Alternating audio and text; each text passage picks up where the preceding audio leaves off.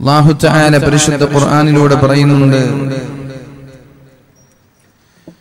يا أيها الذين آمنوا اتقوا الله وآمنوا برسوله يؤتكم كفلين من رحمته ويجعل لكم نورا تمشون به ويغفر لكم والله غفور رحيم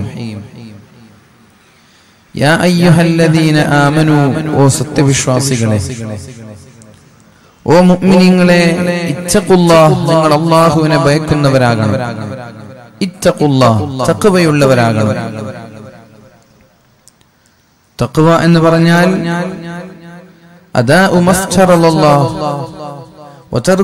ഹറമല്ലാഹ്.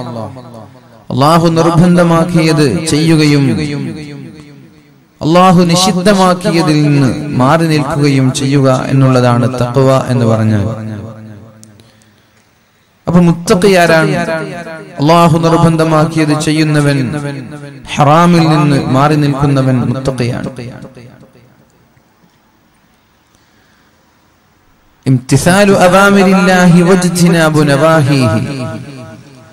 അള്ളാഹുവിന്റെ കൽപ്പനകൾ അതേപോലെ നമ്മൾ അനുസരിക്കണം. അള്ളാഹുവിന്റെ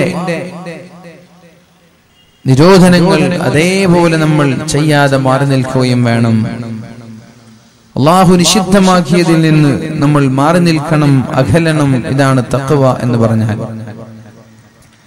അപ്പൊ പരിശുദ്ധമായ സൂറത്തുൽ ഹദീദ് അള്ളാഹു പറയുന്നുണ്ട് ഇരുപത്തിയെട്ടാമത്തെ ആയത്താണത് يا أيها الذين آمنوا اتقوا الله ഓ സത്യവിശ്വാസികളെ നിങ്ങൾ ചക്കവയുള്ളവരാകണം അള്ളാഹുവിന്റെ റസൂലിനെ കൊണ്ട് നിങ്ങൾ വിശ്വസിക്കണം. തക്കവയുള്ളവരാകണം അള്ളാഹുവിന്റെ റസൂലിനെ കൊണ്ട് നിങ്ങൾ വിശ്വസിക്കണം. റഹ്മതിഹി റഹ്മത്തിൽ നിന്ന് രണ്ട് ഓഹരി അല്ലാഹു നിങ്ങൾക്ക് നൽകുമെന്നാണ്. അള്ളാഹുവിന്റെ റഹ്മത്തിൽ നിന്ന് അള്ളാഹുവിന്റെ കാരുണ്യത്തിൽ നിന്ന് രണ്ട് ഓഹരി അള്ളാഹു നിങ്ങൾക്ക് നൽകുമെന്നാണ്.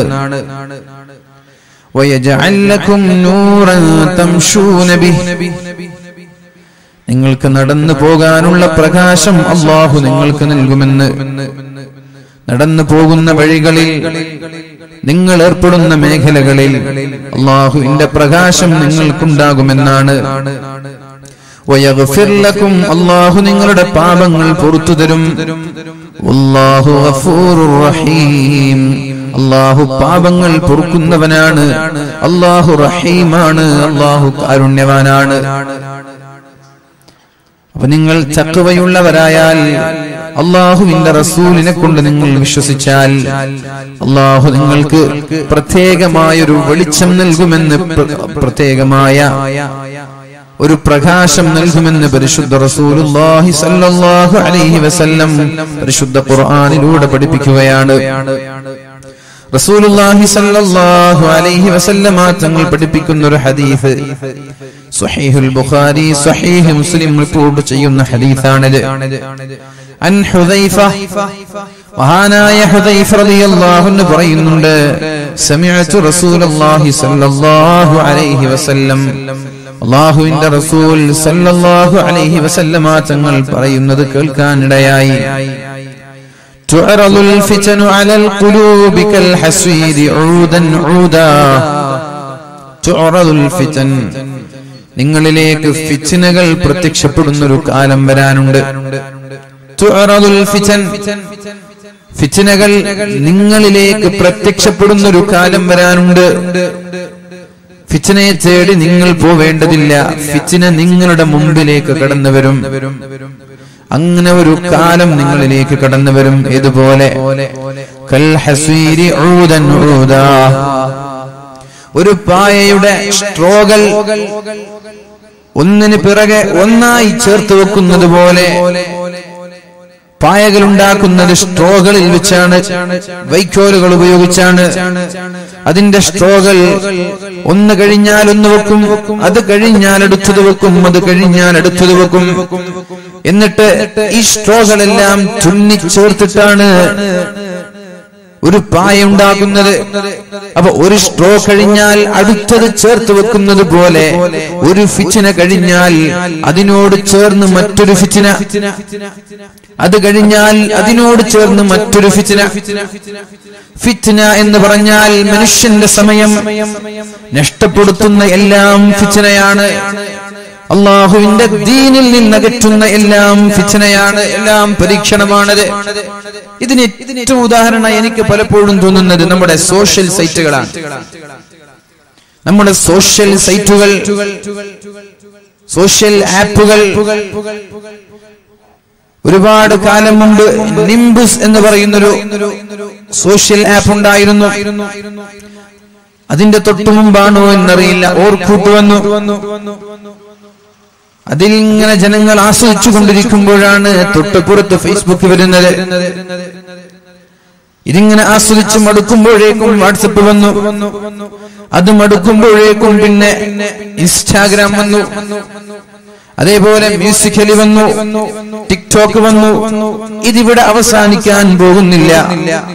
ഓരോന്നോരോന്ന് ജനങ്ങൾക്ക് ഉപയോഗിച്ച് മടുക്കുമ്പോഴേക്കും പുതിയ അപ്ഡേഷനുകളിൽ പുതിയ ഫീച്ചറുകളിൽ പുതിയ പുതിയ ആപ്പുകൾ നമ്മുടെ മുമ്പിലേക്ക് കടന്നു വരാൻ പോവുകയാണ്. അതേപോലെ തന്നെയാണ് ഗെയിമുകൾ. നമ്മുടെ കുട്ടികൾ മൊബൈൽ ഫോണിൽ കളിക്കുന്ന ഗെയിമുകൾ ഇതുപോലെയാണ്. വാലിന്റെ സദസ്സിൽ വന്നിട്ട് ഇപ്പുറത്ത് നിന്ന് അപ്പുറത്തുള്ളവനെ ഷൂട്ട് ചെയ്യുന്ന കാലമാണിത്. കുട്ടികളൊക്കെ വേദന വന്നാൽ അവിടെ ഇരുന്നിട്ട് ഇങ്ങനെ നാലഞ്ച് ആളുകൾ കളിക്കും. നല്ല ശ്രദ്ധിക്കാണെന്ന് ബാക്കിലുള്ള ആളുകൾ വിചാരിക്കുക. ഇവർക്ക് ഇടുന്ന പണി ഷൂട്ട് അടിക്കല അന്നപ്പുറത്തുള്ള ആളെ. കിക്ക് ചെയ്യാ ഷൂട്ട് ചെയ്യാ പഞ്ചിട നാലഞ്ചാളുകൾ ഒരുമിച്ച് കൂടിയിട്ട് ഗെയിം കളിക്കുക. കുറച്ച് മുമ്പ് ഉണ്ടായിരുന്നു. അതിന്റെ ഗെയിമിന്റെ പേര് മിനി മിൽട്ടി എന്തോ ആണ്. എനിക്കിപ്പോ അപ്ഡേഷൻ വന്ന് മാറിയിട്ടുണ്ടാവും. ഗെയിമുകൾ അതേപോലെയാണ്. ഒന്ന് മടുക്കുമ്പോ അടുത്തത്. നമ്മുടെ ബ്ലൂ വെയിൽ വന്നില്ലേ? അങ്ങനെ ഓരോന്ന് ഓരോ സമയത്തിനും സാഹചര്യത്തിനും അനുസരിച്ച് മനുഷ്യന്റെ ചിന്തകൾക്ക് അതീതമായി പുതിയ പുതിയ അപ്ഡേഷനുകൾ അത് ഫിറ്റ്നകളാണ് അതിങ്ങനെ അവസാനിക്കൂല. അത് തുടർന്നുകൊണ്ടേയിരിക്കും. മനുഷ്യന്റെ തലച്ചോറിന് ഒരു കാര്യം കൂടുതൽ കാണുമ്പോൾ മടുക്കുമെന്നാണ്. പുതിയ ഫീച്ചറിൽ പുതിയ കാര്യങ്ങൾ പുതിയ സൈറ്റുകൾ പുതിയ ആപ്പുകൾ ഇതാണ് ഫിച്ചന എന്ന് പറയുന്നത്. നിങ്ങളിലേക്ക് ഫിച്ചനകൾ പ്രത്യക്ഷപ്പെടുമെന്നാണ് പറഞ്ഞത്. കൽഹസീരി ഊതൻ ഊദാ പായകളുടെ സ്ട്രോകൾ ഒന്നിന് പിറകെ ഒന്നായി വെക്കുന്നത് പോലെ അത് കഴിഞ്ഞാൽ അടുത്തത് അത് കഴിഞ്ഞാൽ ഇങ്ങനെ ഒന്ന് കഴിഞ്ഞാൽ ഒന്ന് അത് കഴിഞ്ഞാൽ ഒന്ന് മനുഷ്യന്റെ സമയത്തെ നഷ്ടപ്പെടുത്തുന്ന മനുഷ്യന്റെ വിലപ്പെട്ട സമയങ്ങളെ കുന്നുകളയുന്ന ബാഹുവിന്റെ വിവാദത്തിൽ നിന്ന് മനുഷ്യനെ മാറ്റി നിർത്തുന്ന രീതിയിൽ ഫിച്ചിനകൾ കടന്നു വരുമെന്ന് മുഹമ്മദ് റസൂലുള്ളാഹി അലൈഹി വസല്ലം. എന്നിട്ട് നബി തങ്ങൾ പറഞ്ഞു ഇതൊക്കെ ഒരു രസകരമായി ആളുകൾക്ക് തോന്നിയാൽ ഇന്ന് ജുമാ കഴിഞ്ഞപ്പോ ഒരു മൂന്ന് ചെറുപ്പക്കാരനോട് പറഞ്ഞു ഉസ്താദ് ഞങ്ങൾ എല്ലാ സ്ഥലത്തും പോയി ടിക്ടോക്കിനെ കുറിച്ച് വേദ പറയണം. ഞാൻ പറഞ്ഞ മുമ്പ് പറഞ്ഞിട്ടുണ്ടല്ലോ. മുമ്പ് പറഞ്ഞ ശരി എല്ലാ സ്ഥലത്തും പോയിട്ട് പറയണം. സ്ത്രീകൾ നമ്മുടെ പെൺമക്കൾ യാതൊരു നിയന്ത്രണമില്ലാതെ അവരുടെ ശരീരവും സൗന്ദര്യവും പൊതുജനങ്ങളുടെ മുമ്പിലേക്ക് അഴിച്ചുവിടുകയാണ്. ആടാനും പാടാനും ഒരു മടിയുമില്ല. ഏത് മക്കൾ? അന്യപുരുഷന്റെ മുമ്പിൽ തല ഉയർത്താൻ പോലും മടിച്ചിരുന്ന നമ്മുടെ മക്കൾ? പുതിയ പുതിയ വീഡിയോകൾ ലിപ്സിങ്ങുകൾ അഭിനയങ്ങൾ ഡയലോഗുകൾ നൃത്തങ്ങൾ. നമ്മുടെ വീട്ടിലെ പാവപ്പെട്ട പെൺമക്കളാണ് ഏതൊക്കെ രീതിയിലുള്ള നൃത്തങ്ങളും ഡാൻസുകളും ഫോട്ടോകളുമായി ഇൻസ്റ്റയിലും ടിക്ടോക്കിലും കയറി കളിക്കുന്നത്. എന്റെ പ്രിയപ്പെട്ട സഹോദരിമാരോട് പറയാനുള്ളത് ഇത്തരം ആപ്പുകളിൽ നിന്ന് മാറി നിൽക്കണോ വേണ്ടേ എന്നുള്ളത് നിങ്ങളുടെ തീരുമാനമാണ്. പക്ഷേ ഇവിടെ പറയുന്നത് പൊതുജനങ്ങളുടെ മുമ്പിലേക്ക് നമ്മുടെ സൗന്ദര്യം പ്രകടിപ്പിക്കുന്നത് നമ്മുടെ അഴുവത്ത് പ്രകടിപ്പിക്കുന്നത് ഏത് രീതിയിലാണ് നമ്മൾക്ക് അംഗീകരിക്കാൻ കഴിയുക? ഔറത്ത് വെളിവാക്കിയതിന്റെ പേരിൽ ആദൻ നബി അലൈഹിസ്സലാമിനെ ഭൂമിയിലേക്ക് പറഞ്ഞയച്ചിട്ടുണ്ട്. ഔറത്ത് വെളിവാക്കിയതിന്റെ പേരിൽ എന്നാൽ ജീവിതമാസകലം ഔറത്ത് വെളിവാക്കി പൊതുജനങ്ങളുടെ മുമ്പിലേക്ക് നാ പിടിച്ചോ കണ്ടോ നോക്കിക്കോ ആസ്വദിച്ചോ. എന്റെ സൗന്ദര്യം എന്റെ കഴിവ് എന്റെ ചുണ്ടുകൾ എന്റെ കൺപീലികൾ എന്റെ നെറ്റിത്തടങ്ങൾ എന്റെ കവലുകൾ എന്റെ ശരീരത്തിന്റെ ഓരോ ആകൃതിയും ഇന്ന് ആസ്വദിച്ചോ എന്ന് പറഞ്ഞ് പൊതുജനങ്ങളുടെ മുമ്പിലേക്ക് വലിച്ചെറിയുന്നത് അപകടങ്ങൾ വിളിച്ചു വരുത്താൻ കാരണമാകുമെന്ന് എന്റെ പ്രിയപ്പെട്ട സഹോദരിമാരോട് ഞാൻ പറയുകയാണ് സാന്ദർഭികമായി ബനു ഇസ്രായേലുകാര് തകർന്നത് അവരുടെ സമുദായത്തിലെ സഹോദരിമാർ കാരണത്താലാണ് ബനു ഇസ്രായേലുകാര് തകർന്നത് അവരുടെ സമുദായത്തിലെ സ്ത്രീകൾ കാരണത്താലാണ് فإن أول فتنة كانت في بني إسرائيل ബനു ഇസ്രയേലിൽ ആദ്യമായി ഉണ്ടായ ഫിത്തിന പെണ്ണ് കാരണത്താലാണ് എന്ന് മുഹമ്മദ് റസൂലുള്ളാഹി സല്ലല്ലാഹു അലൈഹി വസല്ലം പെണ്ണ് കാരണത്താലാണ് ബനു ഇസ്രയേലുകാർ നശിക്കാൻ കാരണം. അള്ളാഹു ഒരുപാട് ഞാമത്തുകൾ നൽകിയിട്ടുണ്ട്. ഒരുപാട് അനുഗ്രഹങ്ങൾ അള്ളാഹു നൽകിയിട്ടുണ്ട് മനു ഇസ്രയേലുകാർക്ക്. പക്ഷേ അവിടുത്തെ സ്ത്രീകൾ അഴിഞ്ഞാടിയപ്പോ ആ സമുദായത്തെ അള്ളാഹു നശിപ്പിച്ചു കളഞ്ഞു എന്ന് മുഹമ്മദ് എങ്ങനെയാണ് അവർ അഴിഞ്ഞാടിയത്? അവരിൽ ചില ആളുകൾ ഹീൽഡ് ചെരുപ്പ് ധരിച്ച് പുറത്തിറങ്ങി എന്നുള്ളതാണ്. നീളമില്ലാത്ത പെൺകുട്ടികളൊക്കെ പൊതുജനങ്ങളെ വശീകരിക്കാൻ വേണ്ടി ഹീൽഡ് ചെരുപ്പിട്ട് പുറത്തിറങ്ങുക. അന്നുള്ളതല്ല ഇന്നുമുണ്ടതൊക്കെ എന്തിനേറെ മോതിരം ധരിക്കുമ്പോൾ വരെ അവിടുത്തെ സ്ത്രീകളുടെ ലക്ഷ്യം എന്താണ് ഈ മോതിരം ധരിക്കുന്നതിൽ വരെ സ്ത്രീകളുടെ ലക്ഷ്യം ഈ മോതിരത്തിന്റെ താഴ്ഭാഗത്ത് നല്ല സുഗന്ധമുള്ള മിസ്കവർ പുരട്ടാറുണ്ടായിരുന്നു. നല്ല സുഗന്ധമുള്ള പെർഫ്യൂമുകൾ മിസ്കുകൾ കസ്തൂരി. എന്നിട്ട് അവരെന്ത് ചെയ്യും? പൊതുജനങ്ങളുള്ള സമയങ്ങളിൽ ആളുകൾ ഒരുമിച്ച് കൂടിയ സ്ഥലങ്ങളിൽ ഈ മോതിരം അവർ ഇളക്കാറുണ്ടായിരുന്നു. അപ്പോ അതിന്റെ അകത്തലങ്ങളിൽ നിന്ന് പരന്നു വരുന്ന സുഗന്ധം ജനങ്ങളുടെ മൂക്കിലേക്കെത്തും ആളുകൾ നോക്കും ആരാണിത്? എവിടെയാണ് ഈ സുഗന്ധം എവിടെ? അപ്പൊ ഈ പെണ്ണിനെ കാണും. പെണ്ണിന്റെ പിന്നാലെ പോകും. ഈ രീതിയിൽ ബനു ഇസ്രയേലുകാർ പഴയ കാലത്ത് അന്നത്തെ അപ്ഡേഷനാണത് അന്ന് ജനങ്ങളെ വശീകരിക്കാനുള്ള വഴിയാണിത് ഇന്നത്തെ വശീകരിക്കുന്ന വഴിയാണ് ടിക്ടോക്ക് എന്ന് പറയുന്നത്. ഇന്നിപ്പോ പെൺകുട്ടികൾ മോതിരത്തിന്റെ താഴെ ഇട്ടിട്ട് മിസ്കും പെർഫ്യൂമും കൂൾ വാട്ടറൊക്കെ അടിച്ചു പോയാൽ ഒരു കുഞ്ഞുമോന് നോക്കൂല. കാരണം എല്ലാരും കൂൾ വാട്ടർ അടിക്കുന്നതാണ്. അന്നത്തെ സൗകര്യങ്ങളതായിരുന്നു. അത് വെച്ച് അവർ ചെയ്തു. ഇന്നത്തെ സൗകര്യം വെച്ച് നമ്മൾ ചെയ്യുന്നു. മഹാനായ അൻഹു ഹജ്ജിന്റെ സമയത്ത് മിമ്പറിന്റെ മുകളിൽ കയറി ഒരു പിടി ഒരു പിടി ഒരു കെട്ട് മുടിയുണ്ട് അദ്ദേഹത്തിന്റെ കയ്യിൽ ഒരു കെട്ട് മുടിയുണ്ട്. എന്നിട്ട് അവിടെ കൂടിയിരിക്കുന്ന ആലിമീങ്ങളുടെ മുഖം നോക്കി ചോദിച്ചു എന്തേ നിങ്ങൾ മിണ്ടാത്തത്? എന്തേ നിങ്ങൾ പ്രതികരിക്കാത്തത്? ഈ മുടിക്കെട്ടുകൾ അള്ളാഹുവിന്റെ ഹബീബ് നിരോധിച്ചതല്ലയോ? ചെറിയ മുടികളുള്ള പെൺകുട്ടികൾ നല്ല അയൺ ചെയ്ത മുടികൾ വെപ്പ് മുടികൾ തന്റെ തലയിൽ വെച്ചുകൊണ്ട് മറ്റുള്ളവരെ വശീകരിക്കുന്ന ഒരു കാലമുണ്ടായിരുന്നു. അതേപോലെ പാദസരങ്ങളിൽ ശബ്ദമുണ്ടാക്കുന്ന പാദസരങ്ങൾ ധരിച്ച് ആളുകളുള്ള വഴിയിലൂടെ വച്ച് വെച്ച് നടന്നു പോകുന്ന പെൺകുട്ടികൾ. ഇതെല്ലാം അള്ളാഹുവിന്റെ ഹബീബിന്റെ കാലത്ത് സോറി ബനു ഇസ്രയേലുകാരുടെ കാലത്ത് മറ്റുള്ളവരെ വശീകരിക്കാൻ വേണ്ടി ഉപയോഗിച്ച മീഡിയകളാണ്. എന്നാൽ ഇന്ന് നമ്മൾ ഉപയോഗിക്കുന്നത് ടിക്ടോക്ക് ആണ് മ്യൂസിക്കലിയാണ് ഇൻസ്റ്റയാണ് ഫേസ്ബുക്ക് ആണ് വാട്സപ്പ് ആണ് തന്റെ മനോഹരമായ ഫോട്ടോകൾ ഇന്ന് കണ്ടോളൂ പിടിച്ചോളൂ നോക്കിക്കോളൂ. തന്റെ മനോഹരമായ വീഡിയോകൾ ചുണ്ടുകൾ ചുവപ്പിച്ച് മുഖം വെളുപ്പിച്ച് തന്റെ ഹിജാബ് കൂർപ്പിച്ച് ജനങ്ങളിലേക്ക് അയച്ചു കൊടുക്കാൻ ആസ്വദിക്കാനും വേണ്ടുവോളം നോക്കാനും വേണ്ടി. ഇത് തന്നെയല്ലേ ടെംപ്റ്റേഷൻ എന്ന് പറയുന്നത്? ഇത് തന്നെയല്ലേ ജനങ്ങളെ ആകർഷിപ്പിക്കുക എന്ന് പറഞ്ഞാൽ ഇത് തന്നെയല്ലേ? അത് കാരണത്താൽ ബനു ഇസ്രയേലുകാർ നശിച്ചുവെങ്കിൽ എന്റെ പ്രിയപ്പെട്ട മുസ്ലിം സഹോദരിമാരോട് പറയാനുള്ളത് നമ്മുടെ സമുദായം തകർന്ന് തരിപ്പണമാകും. പരാജയത്തിന്റെ കൈപ്പുനീര് കുടിക്കേണ്ടി വരും നമ്മുടെ സമുദായം. ഈ ഒരു ആഭാസം നിരന്തരമായി തുടരുകയാണെങ്കിൽ ഈ ഒരു ആഭാസം തുടർന്നാൽ പരാജയത്തിന് ഇനി കാത്തിരിക്കാനില്ല പരാജയത്തിന് കാത്തിരിക്കാനില്ല. ഹബീബിന്റെ കാലത്ത് തന്നെ ഹബീബിന്റെ കാലത്ത് തന്നെ യജൂജിന്റെ വൻമതിലുകൾക്ക് വിള്ളൽ വീണിട്ടുണ്ട് എന്ന് മുഹമ്മദ് റസൂലുള്ളാഹി അലൈഹി വസല്ലം. ഹബീബിന്റെ കാലത്ത് യജൂജ് മഅജൂജിന്റെ വൻമതിലുകൾക്ക് വിള്ളൽ വീണിട്ടുണ്ട് എന്നാണ്. എന്നാൽ ആ വിള്ളലുകൾക്ക് വലിപ്പം കൂടി ഇതാ നമ്മൾ നശിക്കാൻ പോവുകയാണ് തകരാൻ പോവുകയാണ് പരാജയത്തിന്റെ കൈഫുനീര് കുടിക്കാൻ പോവുകയാണ്. അതുകൊണ്ട് എന്റെ പ്രിയപ്പെട്ട സഹോദരിമാരോട് പറയാനുള്ളത് ഇത്തരം മീഡിയകളിൽ നിന്ന് മാറി നിൽക്കണം എന്നല്ല ഞാൻ പറയുന്നത്. അത് നിങ്ങളുടെ ഇഷ്ടമാണ്. ഹലാലായ രീതിയിൽ എങ്ങനെ ഉപയോഗിക്കാൻ പറ്റുമെന്ന് നിങ്ങളാണ് ആലോചിക്കേണ്ടത്. അപ്പൊ നമ്മൾ എന്ത് ചെയ്യണം? എന്താണ് ഇനി നമ്മൾ ചെയ്യേണ്ടത്?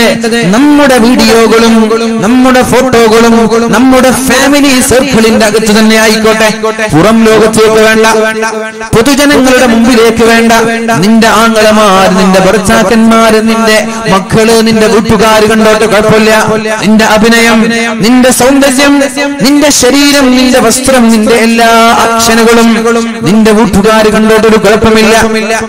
പക്ഷേ പൊതുജനങ്ങളുടെ മുമ്പിലേക്ക് പ്രദർശിപ്പിക്കുന്നത് അന്യ പുരുഷന്മാരുടെ മുമ്പിലേക്ക് നീ പബ്ലിഷ് ചെയ്യുന്നത് തെറ്റ് തന്നെയാണ് മുസ്ലിം സമുദായത്തിന് തെറ്റാണ്. ഇനി ലിബറലിസം തലക്ക് പിടിച്ച ആളുകൾ സോഷ്യലിസം തലക്ക് പിടിച്ച ആളുകൾ യുക്തിവാദം തലക്ക് പിടിച്ച ആളുകൾ ഫെമിനിസം തലക്ക് പിടിച്ച ആളുകൾ നിങ്ങൾക്ക് സുഖമില്ലേ എന്ന് ചോദിച്ചാൽ പറയാനുള്ളത് ഇത് എന്റെ അഭിപ്രായമല്ല.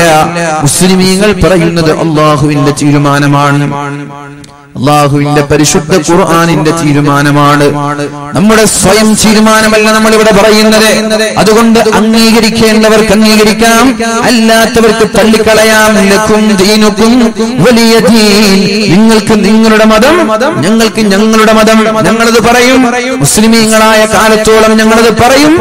പറഞ്ഞുകൊണ്ടേയിരിക്കും. നന്നാവേണ്ടവർക്ക് നന്നാവാം. അല്ലാത്തവർക്ക് ഒഴിവാവാം. ഈ അടുത്ത് എ റഹ്മാന്റെ ഒരു മകളുടെ ഫോട്ടോ. ഫേസ്ബുക്കിലൊക്കെ ഒരു പ്രാകൃത വേഷം എന്ന രീതിയിൽ പലരും ഷെയർ ചെയ്യുകയുണ്ടായി. റഹ്മാന്റെ എന്തോ അവാർഡ് വേളയിൽ അദ്ദേഹത്തിന്റെ മകൾ പർദ്ദ ധരിച്ചു മുഖം മറച്ചു എന്നിട്ട് മുഖവും മുഖയും ഒന്നും കാണാതെ ഏതോ ഒരു അവാർഡ് സ്വീകരിക്കാൻ വേണ്ടി വന്ന ഒരു ഫോട്ടോ. അദ്ദേഹത്തിനെതിരെ പലരും കുതിര കയറി നിങ്ങൾ ഇങ്ങനെയാകുമെന്ന് ഞങ്ങൾ വിചാരിച്ചില്ല.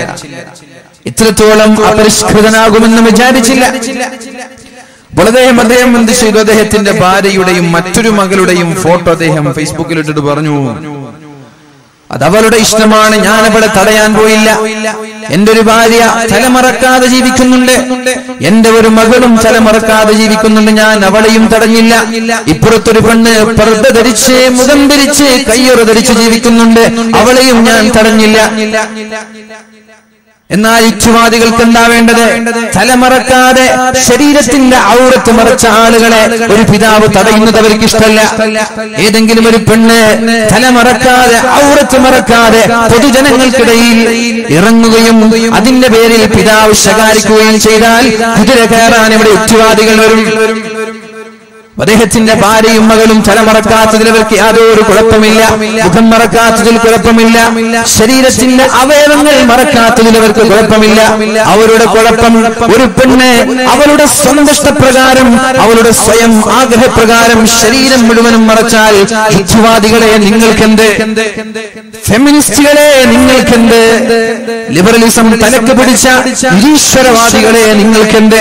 ഓരോ ആളുകളുടെ ഇഷ്ടമല്ലേ? ഓരോ ആളുകൾ വേഷം ധരിക്കുന്നത് ഓരോ ആളുകൾ വസ്ത്രം ധരിക്കുന്നത് ഓരോ ആളുകളുടെ ഇഷ്ടമല്ലേ ചുറിയാൻ വരരുത് നിങ്ങൾക്ക് ഇഷ്ടമുള്ളത് നിങ്ങൾക്ക് ധരിക്കാം നമ്മൾക്ക് ഇഷ്ടമുള്ളത് നമ്മൾ ധരിക്കുന്നത്ര മാത്രം. അത് തന്നെയാണ്. വാതിലും ഒരാളെയും ഇവിടെ നിർബന്ധിക്കാൻ പോകുന്നില്ല. നിങ്ങൾ അത് തന്നെ ധരിക്കണം. അത് തന്നെ ചെയ്യണം. ഒരാൾക്കും ഇവിടെ നിർബന്ധമില്ല. വേണ്ടവർക്ക് കേൾക്കാം. അല്ലാത്തവർക്ക് തള്ളാം. അതാണ് നമ്മുടെ വാദന്റെ ഉദ്ദേശം. ഇവിടുത്തെ വാദകൾ വേണ്ടവർക്ക് കൊള്ളാം. അല്ലാത്തവർക്ക് തള്ളാം. വേണ്ടവർക്ക് ഉൾക്കൊള്ളാം അല്ലാത്തവർക്ക് അവഗണിക്കാം. ഒരാളെയും നിർബന്ധിപ്പിച്ചത് ചെയ്യണമെന്ന് ഇസ്ലാം എവിടെയും പറയുന്നില്ല. ദീനിൽ അടിച്ചേൽപ്പിക്കുന്ന സമ്പ്രദമാ സമ്പ്രദായമേ ഇല്ല എന്ന് പരിശുദ്ധ ഖുർആനിൽ അള്ളാഹു പറയുന്നുണ്ട്. അതുകൊണ്ട് ഒരൽപ്പമെങ്കിലും എന്റെ ശബ്ദം ശ്രമിക്കുന്ന പ്രിയപ്പെട്ട സഹോദരിമാരോട് ചെറുപ്പക്കാരികളോട് എനിക്ക് പറയാനുള്ളത് നിങ്ങൾ യഥാർത്ഥ മുസ്ലിമാണെങ്കിൽ അള്ളാഹുവിനെ പേടിയുള്ള ഒരു സത്യവിശ്വാസിനിയാണെങ്കിൽ നിങ്ങളോടാണ് പറയുന്നത് കാരണം നിന്റെ സൃഷ്ടാവ് അള്ളാഹുവാണ്. നിന്റെ ദൈവം അള്ളാഹുവാണ്. നിന്നെ സൃഷ്ടിച്ചത് അള്ളാഹുവാണ്. അപ്പൊ നിന്റെ തീരുമാനം പറയേണ്ടത് നീ എന്ത് ധരിക്കണം? നീ എങ്ങനെ ജീവിക്കണം? നീ എന്ത് തിന്നണം എന്ന് പറയേണ്ടത് അള്ളാഹുവാണ്. ഈ മൈക്കിന്റെ പ്രൊഡ്യൂസറാണ്. ഇതിന്റെ സൃഷ്ടാവാണ്. ഇതെങ്ങനെ ഉപയോഗിക്കണം എന്ന് പറയേണ്ടത് എത്ര വാട്സ് വേണം? ഇതിന്റെ ആംപ്ലിഫയർ എങ്ങനെ വേണം? ഇതിന്റെ മിസ്റ്റർ എങ്ങനെ വേണം. എല്ലാം പറയേണ്ടത് ഇത് എത്ര കാലം ഉപയോഗിക്കണം? ഏത് രീതിയിൽ ഓപ്പറേറ്റ് ചെയ്യണം? ഇതെല്ലാം പറയേണ്ടത് ഇതിന്റെ നിർമ്മാതാവാണ്. മൊബൈൽ ഫോണിന്റെ നിർമ്മാതാക്കളാണ്. ഇതെങ്ങനെ ഉപയോഗിക്കണമെന്ന് പറയേണ്ടത്? വെള്ളത്തിലിടണോ? ഇടേണ്ടേ എന്ന് പറയേണ്ടത്. വെള്ളത്തിലിടാൻ പറ്റുമോ? ഇല്ലേ എന്ന് പറയേണ്ടത് ഇതിന്റെ നിർമ്മാതാക്കളാണ്. എല്ലാ നിർമ്മാതാക്കൾക്കും അവരവരുടെ സ്വാതന്ത്ര്യം നൽകിയപ്പോ എന്റെ സർവലോക സൃഷ്ടാവായ അള്ളാഹുവിന്റെ സൃഷ്ടികളെന്ന് വിശ്വസിക്കുന്ന മുസ്ലിം സമുദായത്തിലെ മുസ്ലിമീങ്ങൾക്ക് അള്ളാഹു പറഞ്ഞത് അവരുടെ സൃഷ്ടാവ് പറഞ്ഞത് ഉൾക്കൊള്ളാൻ നിങ്ങൾക്ക് സമ്മതം നൽകാൻ കഴിയാതെ വന്നുപോയത് എന്തേ നിങ്ങൾക്ക് ചൊറിച്ചിൽ വരുന്നത്? അതുകൊണ്ട് എന്റെ ശബ്ദം ശ്രമിക്കുന്ന പ്രിയപ്പെട്ട സഹോദരിമാരോട് പറയാനുള്ളത് നമ്മൾ എന്ത് ചെയ്യണം? അള്ളാഹുവിനെ പേടിയുള്ളവരാണെങ്കിൽ അല്ലെങ്കിൽ കുഴപ്പമില്ല. ജീനിൽ വിശ്വസിക്കുന്നവരാണെങ്കിൽ ഇത്തരം ആഭാസങ്ങളിൽ നിന്ന് മാറി നിൽക്കണം. നമ്മുടെ ഔറത്ത് നമ്മുടെ സൗന്ദര്യം അത് നമ്മുടെ ഭർത്താവിനെ നമ്മുടെ വീട്ടുകാരുടെ മുമ്പിൽ പ്രദർശിപ്പിക്കാനുള്ളതാണ്. അല്ലാതെ പൊതുജനങ്ങളുടെ മുമ്പിൽ ഔറത്ത് വെളിവാക്കി നടക്കുന്നത് ഏത് യുക്തിവാദിക്കാണ്? അതൊരു രസകരമാക്കി തോന്നിയത് ചില ആളുകൾക്ക് രസകരമായി തോന്നി. മുസ്ലിമീങ്ങളിൽപ്പെട്ട ചില ആളുകൾക്ക് തന്നെ അത് രസകരമായിട്ട് തോന്നും. എല്ലാവർക്കും മുസ്ലിമീങ്ങൾക്ക് വരെ ചില ആളുകൾ എന്തിനേറെ പറയണം? ചില ആരോപണങ്ങൾ കടന്നു വരുമ്പോൾ വരെ ചില ആരോപണങ്ങൾ കടന്നു വരുമ്പോൾ വരെ ആഘോഷിക്കുന്ന ആളുകളുണ്ട് ആഘോഷിക്കുന്നവർ. എന്തിനാണ് ആരോപണങ്ങളിൽ നമ്മൾ ആഘോഷിക്കുന്നത്? ആരോപണങ്ങൾ എന്തിനാണ് നമ്മൾ പരസ്യപ്പെടുത്തുന്നത്.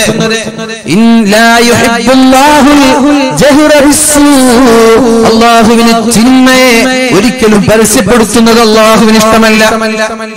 ചിന്മകളെ പരസ്യപ്പെടുത്തുന്നത് അള്ളാഹുവിന് ഇഷ്ടമല്ല എന്ന് അള്ളാഹു താല പരിശുദ്ധ ഖുർആാനിലൂടെ നമ്മൾക്ക് പഠിപ്പിച്ചു തരുന്നുണ്ട്.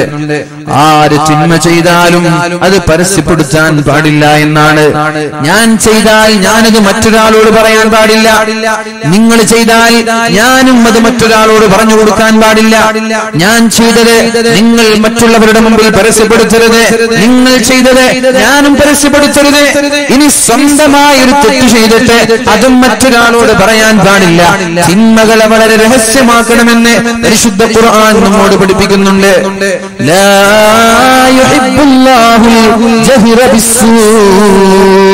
ചിന്മകൾ നിങ്ങൾ ഒരിക്കലും പരസ്യമാക്കാൻ പാടില്ല എന്ന് പരിശുദ്ധ ഖുർആനിൽ അള്ളാഹു പഠിപ്പിക്കുന്നുണ്ട്. ബാഹു നമ്മൾക്ക് ബോധം നൽകട്ടെ. അപ്പൊ പറഞ്ഞു വരുന്ന വിഷയം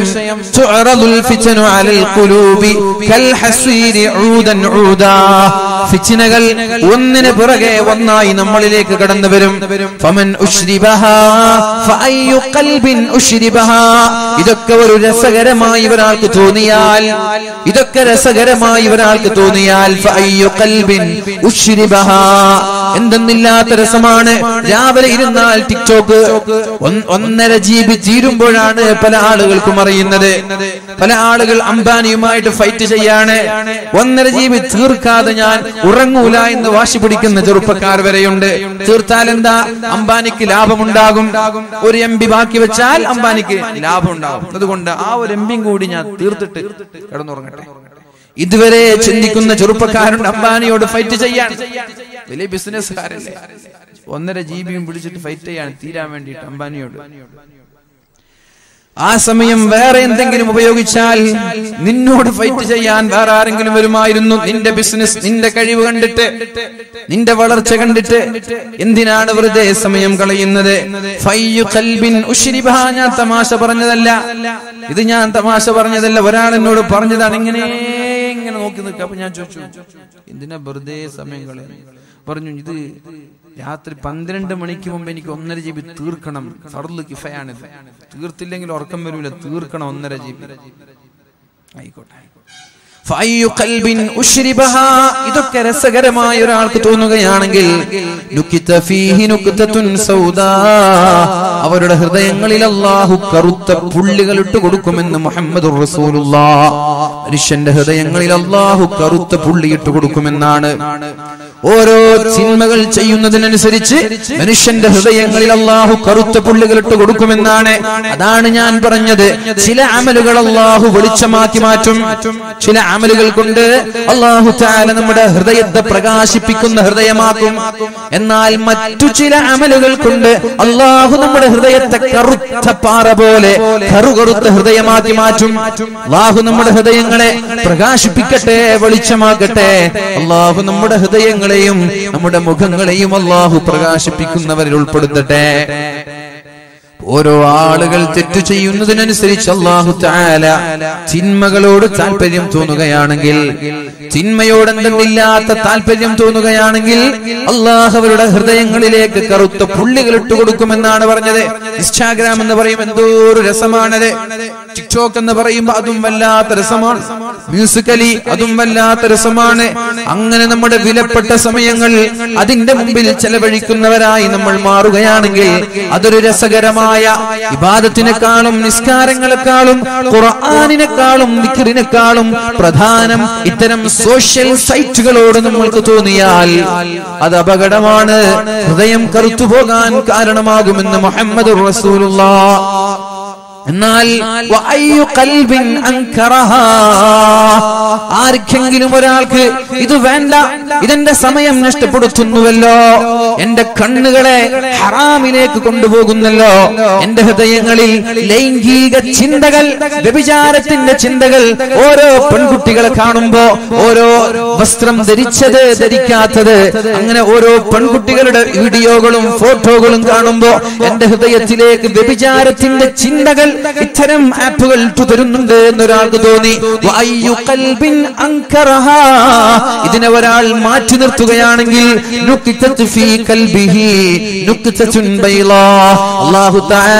അവരുടെ ഹൃദയങ്ങളിൽ വെളുത്ത പ്രകാശം ഒരു നൂറിട്ട് തരുമെന്ന് മുഹമ്മദ് അവരുടെ ഹൃദയങ്ങൾ അള്ളാഹു പ്രകാശിപ്പിക്കുമെന്നാണ് ഏതുപോലെ. രണ്ട് ഹൃദയങ്ങളായി മാറും രണ്ട് ഹൃദയങ്ങൾ രണ്ട് ചിന്തകൾ രണ്ട് ഹൃദയങ്ങളായി മാറുമെന്നാണ്.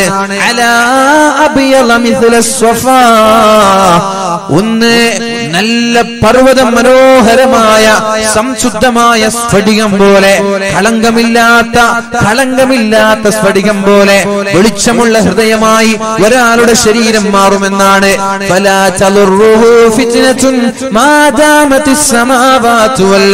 ആകാശഭൂമി ഇവിടെ നിലനിൽക്കുന്ന കാലത്തോളം ആകാശഭൂമി ഇവിടെ നിലനിൽക്കുന്ന കാലത്തോളം ഒരു ഫിച്ചിനയും ആ ഹൃദയത്തെ ബാധിക്കൂല ഒരു ഷറും ആ ഹൃദയത്തെ ബാധിക്കൂല ആ ഹൃദയങ്ങൾ ചിന്മയിലേക്ക് പോകൂല.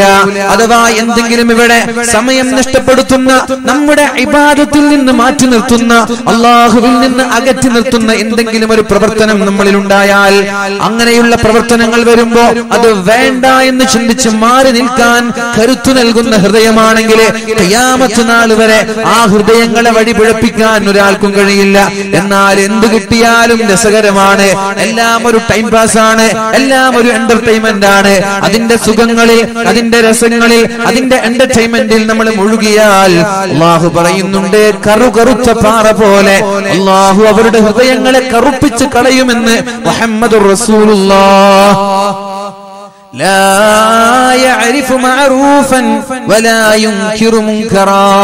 അവർക്ക് നന്മ ഏത് എന്ന് തിരിച്ചറിയാൻ കഴിയില്ല ചിന്മ ഏത് എന്ന് തിരിച്ചറിയാൻ കഴിയില്ല. അതുകൊണ്ട് രണ്ട് ഹൃദയങ്ങളാണ് ഇവിടെ ചർച്ച ചെയ്യാൻ പോകുന്നത്. ഒന്ന് വെളിച്ചമുള്ള ഹൃദയം രണ്ട് കറു കറുത്ത ഹൃദയം. എവിടെയാണ് നമ്മൾ ഉൾപ്പെടേണ്ടത് എന്ന് നമ്മൾ തീരുമാനിക്കണം. നമ്മുടെ ഹൃദയം എങ്ങനെ വേണമെന്ന് തീരുമാനിക്കേണ്ടത് നമ്മളാണ്.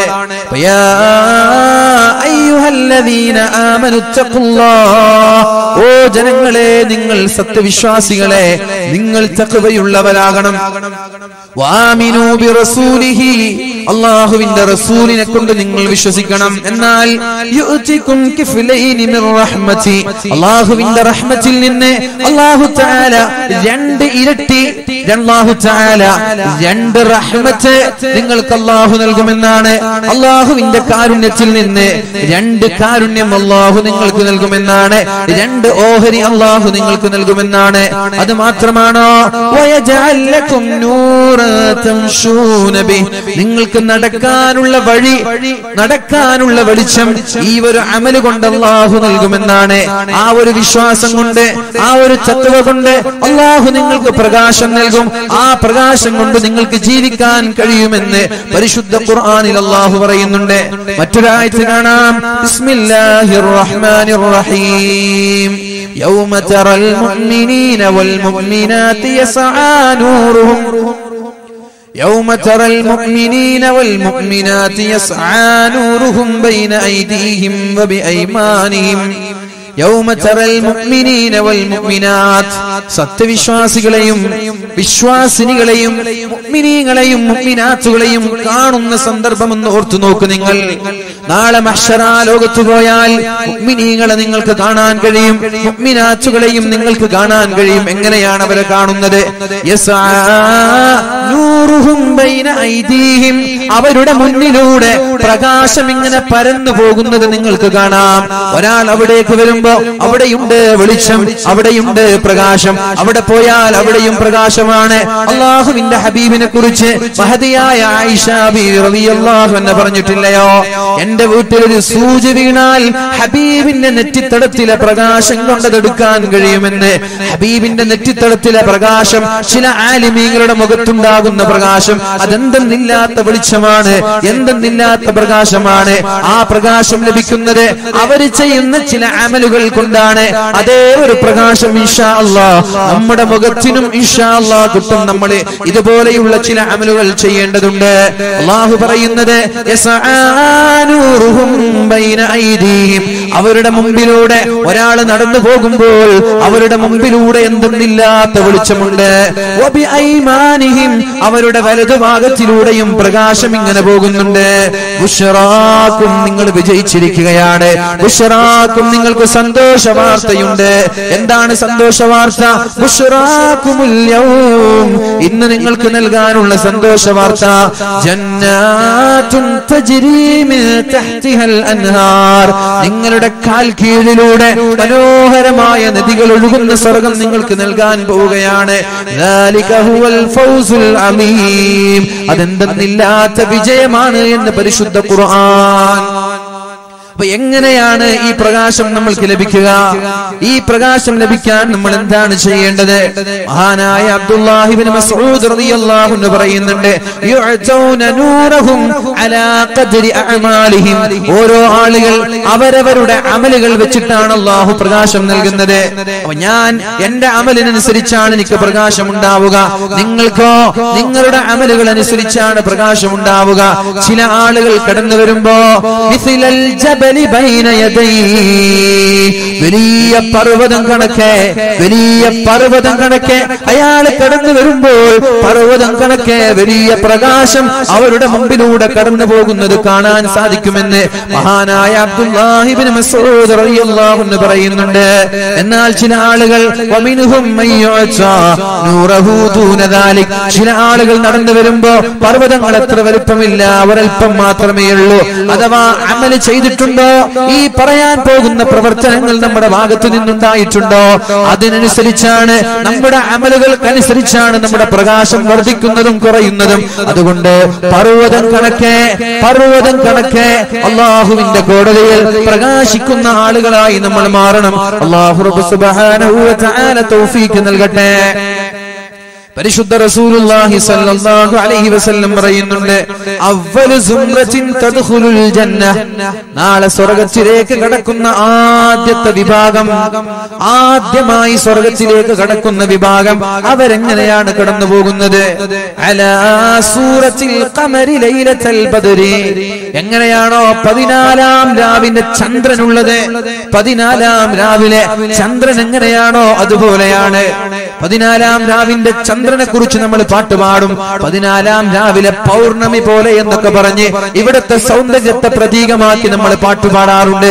എന്നാൽ സ്വർഗീയ ലോകത്തേക്ക് കടന്നു പോകുന്ന ആദ്യത്തെ വിഭാഗം അവരുടെ മുഖങ്ങൾ പതിനാലാം രാവിന്റെ ചന്ദ്രനെ പോലെയായിരിക്കുമെന്ന് മുഹമ്മദ് റസൂലുള്ള. അല്ലാഹു തആല നമ്മെ അവരിൽ പെടുത്തുമാറാവട്ടെ. പിന്നെയോ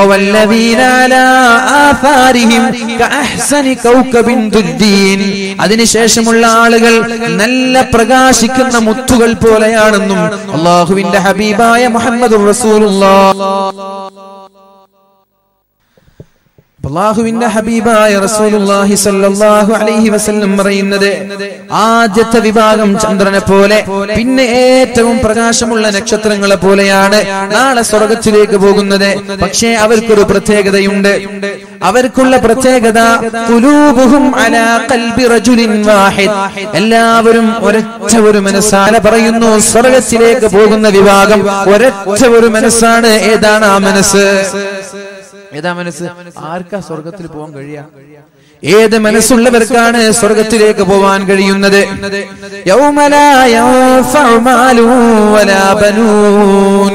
ഇല്ലാ മൻ അത്തല്ലാഹ ബിഖൽബിൻ സലീം. സംശുദ്ധമായ ഹൃദയമുള്ള ആളുകൾക്ക് മാത്രമേ അള്ളാഹു നാളെ സ്വർഗം നൽകുള്ളൂ എന്ന് പരിശുദ്ധ ഖുർആൻ. നിസ്കാരം നാളെ ഉപകരിക്കൂല. പരിശുദ്ധമായ ഖുർആൻ ഉപകരിക്കൂല. സക്കാത്തോ സ്വതക്കകളോ ഒരു നന്മയും ഉപകരിക്കൂല. ഹൃദയം ശുദ്ധീകരിക്കാത്ത ഒരാളുടെ സ്വഭാവം നന്നാവാത്ത ഒരാളുടെ ജനങ്ങളോട് മാന്യമായി പെരുമാറണം. നമ്മൾക്ക് ഒരാളോടും അസൂയ തോന്നാൻ പാടില്ല. വൈരാഗ്യം തോന്നാൻ പാടില്ല. പക തോന്നാൻ പാടില്ല. വിദ്വേഷം ഉണ്ടാവാൻ പാടില്ല. പിണക്കമുണ്ടാവാൻ പാടില്ല ചുടിയുണ്ടാവാൻ പാടില്ല.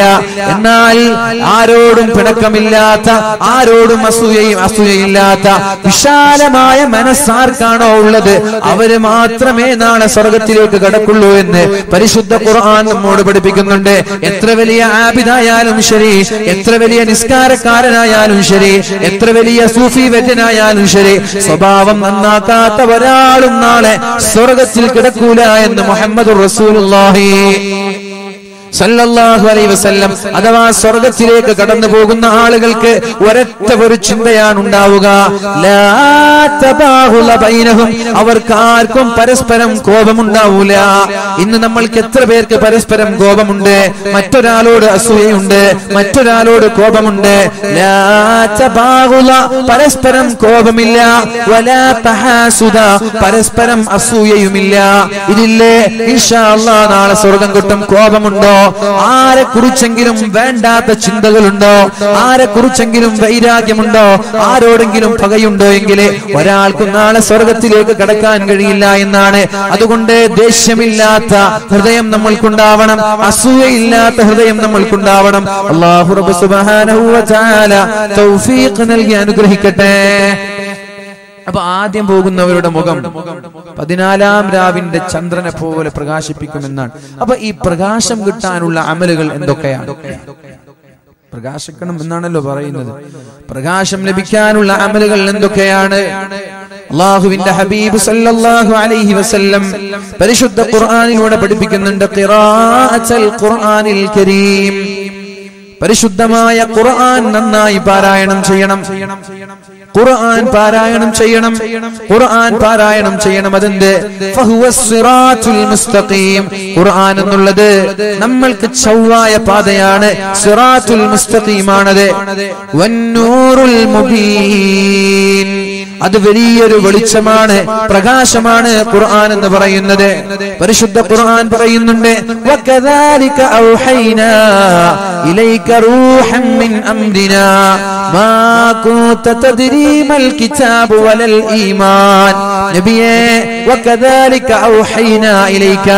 അങ്ങേക്ക് ഞാൻ വഹി നൽകുകയുണ്ടായി. അള്ളാഹു മിൻ അംരിനാ. അല്ലാഹു തആലയാണ് വഹി ഇറക്കി കൊടുക്കുന്നത്. നിങ്ങൾക്കറിയില്ല എന്താണ് ഈ കിതാബ് എന്ന് നിങ്ങൾക്കറിയില്ല എന്താണ് ഈ ഖുർആൻ എന്ന് വലൽ ഈമാൻ. എന്താണ് ഈമാൻ എന്ന് നിങ്ങൾക്കറിയില്ല. വലാകിൻ ജഅൽനാഹു നൂറൻ നഹ്ദി ബിഹി മൻ നശാഉ മിൻ ഇബാദിനാ. ഈ ഖുർആൻ എന്ന് പറയുന്നത് ഈ കിതാബ് എന്ന് പറയുന്നത് നൂറാ. അതൊരു പ്രകാശമാണ് അതൊരു വെളിച്ചമാണ്. നഹ്ദി ബിഹി മൻ നശാഉ മിൻ ഇബാദിന. എന്റെ അടിമകളിൽ എല്ലാവർക്കും ആ വെളിച്ചം ഞാൻ നൽകൂല. എന്റെ അടിമകളിൽ ഞാൻ ഇഷ്ടപ്പെടുന്ന ആളുകൾക്ക് ഈ ഒരു പ്രകാശം ഞാൻ നൽകുമെന്ന് പരിശുദ്ധ ഖുർആൻ. ഖുർആൻ ഒരു വെളിച്ചമാണ്. ആ വെളിച്ചം ഞാൻ എല്ലാവർക്കും നൽകൂല. ആ വെളിച്ചം ആർക്കാണോ ഞാൻ നൽകുന്നത്? അത് ഞാൻ ഇഷ്ടപ്പെടുന്ന ആളുകൾക്ക് മാത്രമേ നൽകുള്ളൂ. അതുകൊണ്ട് ഈ ഖുർആനാകുന്ന പ്രകാശം ആരാണോ മുറുകെ പിടിക്കുന്നത്? അവർക്ക് ഇൻഷാ അല്ലാ അവരുടെ അവരുടെ ശരീരത്തിൽ വെളിച്ചമുണ്ടാകും. നാളെ ആഖിറത്തിൽ വെളിച്ചമുണ്ടാകും. അള്ളാഹു ആ ഒരു വെളിച്ചം നമ്മൾക്ക് നൽകുമാറാവട്ടെ. റസൂലുള്ളാഹി സല്ലല്ലാഹു അലൈഹി വസല്ലമ തങ്ങൾ പറഞ്ഞു കിതാബുല്ലാഹി ഫീഹിൽ ഹുദാ. ഖുർആൻ എന്ന് പറയുന്നത് ഖുർആനിൽ സന്മാർഗമുണ്ട് ഖുർആനിൽ സന്മാർഗമുണ്ട്. കിതാബുല്ലാഹി ഫീഹിൽ ഹുദാ. ഖുർആനിൽ സന്മാർഗമുണ്ട്. വന്നൂർ ഖുർആനിൽ വെളിച്ചമുണ്ട് ഖുർആനിൽ പ്രകാശമുണ്ട്. അതുകൊണ്ട് ഫഖുദൂ ബികിതാബില്ലാഹി വസ്തംസികൂ ബിഹി. ആ വെളിച്ചമുള്ള സന്മാർഗമുള്ള ഖുർആനിനെ നിങ്ങൾ മുറുകെ പിടിക്കണമെന്ന് മുഹമ്മദ് നബി തങ്ങൾ പറഞ്ഞില്ലേ രണ്ടു കാര്യം ഞാൻ നിങ്ങൾക്ക് ഇട്ടുതരാമെന്ന്. ഞാൻ പോവുകയാണ്. ഞാൻ യാത്ര ചോദിക്കുകയാണ്. യാത്ര ചോദിക്കുമ്പോൾ നിങ്ങൾക്ക് നൽകാനുള്ളത് രണ്ടേ രണ്ട് വിഷയങ്ങളാണ്. അതിലൊന്ന് ഖുർആനാണ് രണ്ടെന്റെ സുന്നത്തുകളാണ്. ഈ രണ്ട് കാര്യം നിങ്ങൾ മുറുകെ പിടിച്ചാൽ ലം ഇത് മുറുകെ പിടിച്ചാൽ നിങ്ങൾ ഒരിക്കലും പരാജയപ്പെടൂല എന്ന് മുഹമ്മദ് റസൂലുള്ളാഹി സല്ലല്ലാഹു അലൈഹി വസല്ലം ഖുർആനും സുന്നത്തുകളും ആരൊക്കെയാണോ മുറുകെ പിടിക്കുന്നത്? അവർ ഒരിക്കലും പരാജയപ്പെടൂല എന്നാണ്. അതുകൊണ്ട് പരിശുദ്ധമായ ഖുർആനിന്റെ ആളുകളായി നമ്മൾ മാറണം. അള്ളാഹു നമ്മൾക്ക് തോഫീക്ക് നൽകട്ടെ. ഖുർആാനിന്റെ ആയത്തുകളുടെ അർത്ഥം നമ്മൾ ചിന്തിക്കേണ്ടതുണ്ട്. ആരാണോ ഖുർആാനിന്റെ അർത്ഥം ആലോചിക്കുന്നത്? ഖുർആൻ അള്ളാഹു ഇറക്കുന്നത് തന്നെ വെറും ഓതിവിടാനല്ല. അതിന്റെ അർത്ഥങ്ങൾ ആലോചിക്കാനാണ്. അറിയില്ല എന്ന് പറഞ്ഞ് ഒരാളും മാറി നിൽക്കണ്ട. എനിക്കറിയില്ല ഞാൻ പഠിച്ചിട്ടില്ല എന്ന് പറഞ്ഞ് ഒരാളും മാറി നിൽക്കേണ്ടതില്ല. എല്ലാവരും പഠിക്കൽ നിർബന്ധമാണ്. പഠിക്കാനുള്ള സമയം എല്ലാവരും കണ്ടെത്തേണ്ടതുണ്ട്. അള്ളാഹു ഖുർആൻ ഇറക്കിയത് ഓതാനല്ല അതിന്റെ അർത്ഥങ്ങൾ ആലോചിക്കാനാണ്. എന്നും കൂടി ഓരോ ആളുകളും ചിന്തിക്കുന്നത് നല്ലതാണ്. അപ്പോ ആരാണോ പരിശുദ്ധമായ ഖുർആാനിന്റെ അർത്ഥം ആലോചിക്കുന്നത്? ഖുർആൻ കൊണ്ട് ആരാണോ ജീവിക്കുന്നത്? അവർക്ക് അള്ളാഹു താല പ്രത്യേകമായ ഒരു പ്രകാശം നൽകും. ഏതാണ് ആ പ്രകാശം? കിതാബുൻ അൻസൽനാഹു ഇലൈക.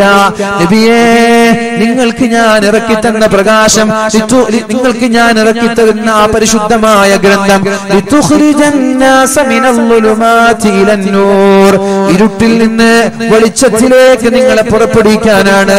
ആരാണോ അന്ധകാരത്തിനുള്ളത്? ആരാണോ അനാചാരത്തിനുള്ളത്? ആരാണോ ഇരുട്ടിലുള്ളത്? അവരെ വെളിച്ചത്തിലേക്ക് കൊണ്ടുവരാനാണ്. സൽപ്പാൻ സൽപഞ്ചാവിലേക്ക് കൊണ്ടുവരാനാണ്. നന്മയിലേക്ക് കൊണ്ടുവരാനാണ്. ഈ പരിശുദ്ധമായ ഖുർആൻ ഞാൻ നിങ്ങൾക്ക് ഇറക്കിയത് എന്ന് പരിശുദ്ധ റസൂൽ സല്ലല്ലാഹു അലൈഹി വസല്ലമ തങ്ങളോട് അള്ളാഹു പറഞ്ഞു കൊടുക്കുന്നുണ്ട്. അപ്പൊ ഒന്നാമത്തെ വിഷയം ഖുർആനാണ്. ഖുർആൻ എന്ത് ചെയ്യണം നമ്മൾ? ഖുർആനിൽ നിന്ന് മാറി നിൽക്കാനേ പാടില്ല. നമ്മുടെ ആയുധം നമ്മുടെ കരുത്ത് നമ്മുടെ ജീവിതത്തിന്റെ ഓരോ ലക്ഷ്യങ്ങളും ഓരോ മേഖലകളും ഖുർആാനുമായി ബന്ധപ്പെടുത്തി ജീവിക്കാൻ നമ്മൾക്ക് കഴിയണം. രോഗമുണ്ടോ? ഖുർആനോതി ഞാനൊന്ന് ദുആ ചെയ്യട്ടെ. കടമുണ്ടോ? ഖുർആാനോദി ഞാൻ ദുആ ചെയ്യട്ടെ. അതേപോലെ ഏത് വിഷയങ്ങളും പരിശുദ്ധമായ ഖുർആാനിൽ അഭയം പ്രാപിക്കുന്നവരാകണം ഒന്നാമത്തെ വിഷയം. ഇനി രണ്ട്. റസൂലുള്ളാഹി സ്വല്ലല്ലാഹു അലൈഹി വസല്ലം പരിശുദ്ധമായ സൂറത്തുൽ ഫാത്തിഹയുടെ പരിശുദ്ധമായ സൂറത്തുൽ ബഖറയുടെ അവസാനത്തെ ഒരു ആയത്തുണ്ട് ഏതാ ആയത്ത് ഹദ്ദാദ് ചൊല്ലുന്ന ആളുകൾക്കൊക്കെ അതറിയും ഏതായത്ത് സൂറത്തുൽ ബഖറയുടെ അവസാനത്തെ ആയത്ത് ഏതാണ് ഇതാ بسم الله الرحمن الرحيم آمن الرسول بما أنزل إليه من ربه والمؤمنون. آمن الرسول بما أنزل إليه من ربه والمؤمنون. كل آمن بالله وملائكته وكتبه ورسله.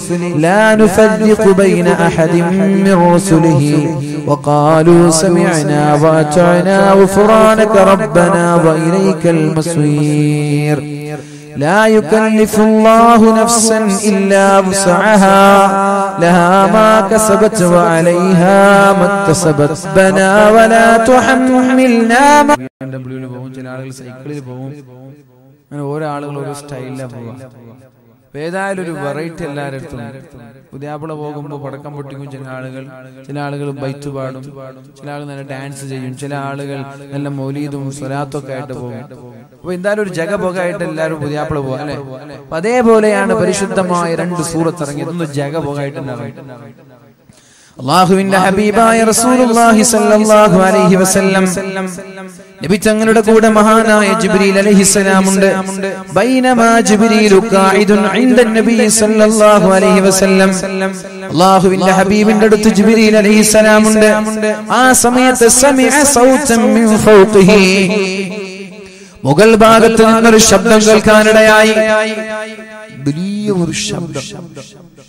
അപ്പോൾ അള്ളാഹുവിന്റെ ഹബീബ് ചോദിച്ചു ആകാശങ്ങളിലേക്ക് തല ഉയർത്തുകയുണ്ടായി. എന്താണ് ആ ശബ്ദമെന്ന് കേൾക്കാൻ വേണ്ടി? അപ്പോഴാണ് മഹാനായ ജിബ്രീൽ അലൈഹിസ്സലാം പറഞ്ഞത് ഹാദാ ബാബും മിനസ് സമാഇ ഫുതിഹൽ യൗം. നബിയേ അത് സ്വർഗത്തിന്റെ ഒരു വാതിൽ തുറന്നതാണ് നബിയേ. സ്വർഗത്തിന്റെ ഒരു കവാടം തുറന്നതാണ് നബിയേ അത്. ലം യുഫ്തഹ ഖത്തു ഇല്ലൽ യൗം. ഇന്നല്ലാതെ ഇന്നേ വരെ ആ വാതിൽ തുറന്നിട്ടില്ല. ഇനി അത് തുറക്കുകയുമില്ല. ഇന്നല്ലാതെ ഇനി ആ വാതിൽ തുറന്നിട്ടില്ല. ഇനി തുറക്കുകയുമില്ല.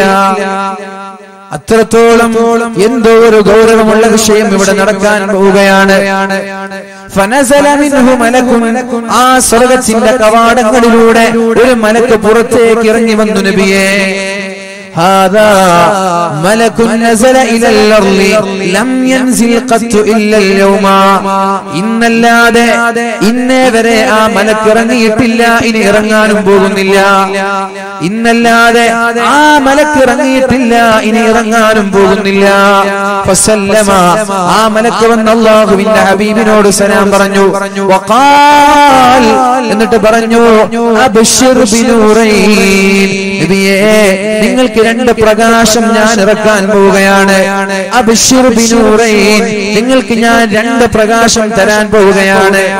രണ്ട് പ്രകാശം ആർക്കും അതിന്നെ വരെ കൊടുത്തിട്ടില്ല.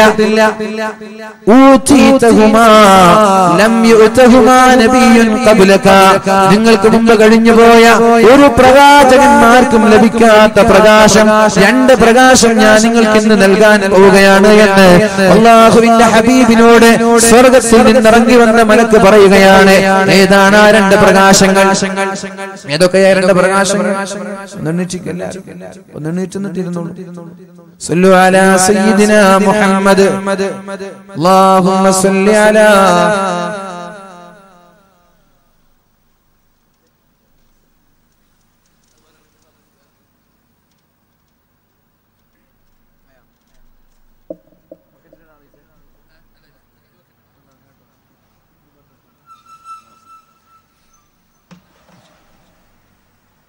gir gir gir. gir, gir, gir. രണ്ട് പ്രകാശമാണ് അള്ളാഹു നിറക്കാൻ പോകുന്നത്. ആ രണ്ട് പ്രകാശങ്ങൾ ഏതൊക്കെയാണ്? ഒന്ന് കിതാബ്. പരിശുദ്ധമായ ഫാത്തിഹ ഇറക്കിയത് പുതിയ ഇറക്കുന്നത് പോലെയാണ്. കിതാബ്.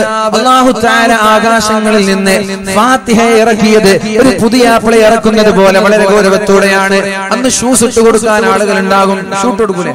പുതിയ ഷൂട്ട് കൊടുക്കും. ട്രൗസർ കിട്ടും ഇന്നേ വരെ ഒരു കുഞ്ഞു മോന് ഷൂട്ട് കൊടുക്കൂല പാന്റ് ഇട്ട് കൊടുക്കൂല ടൈ ഇട്ട് കൊടുക്കൂല ഒന്നും ചെയ്യും പൗഡർ ഇട്ട് കൊടുക്കൂല എന്നാ പുതിയ പിള്ളായാലോ മാഷാല ചങ്ങാതിമാരൊക്കെ ഇവരൊന്നും ഒന്നും പറയണ്ട.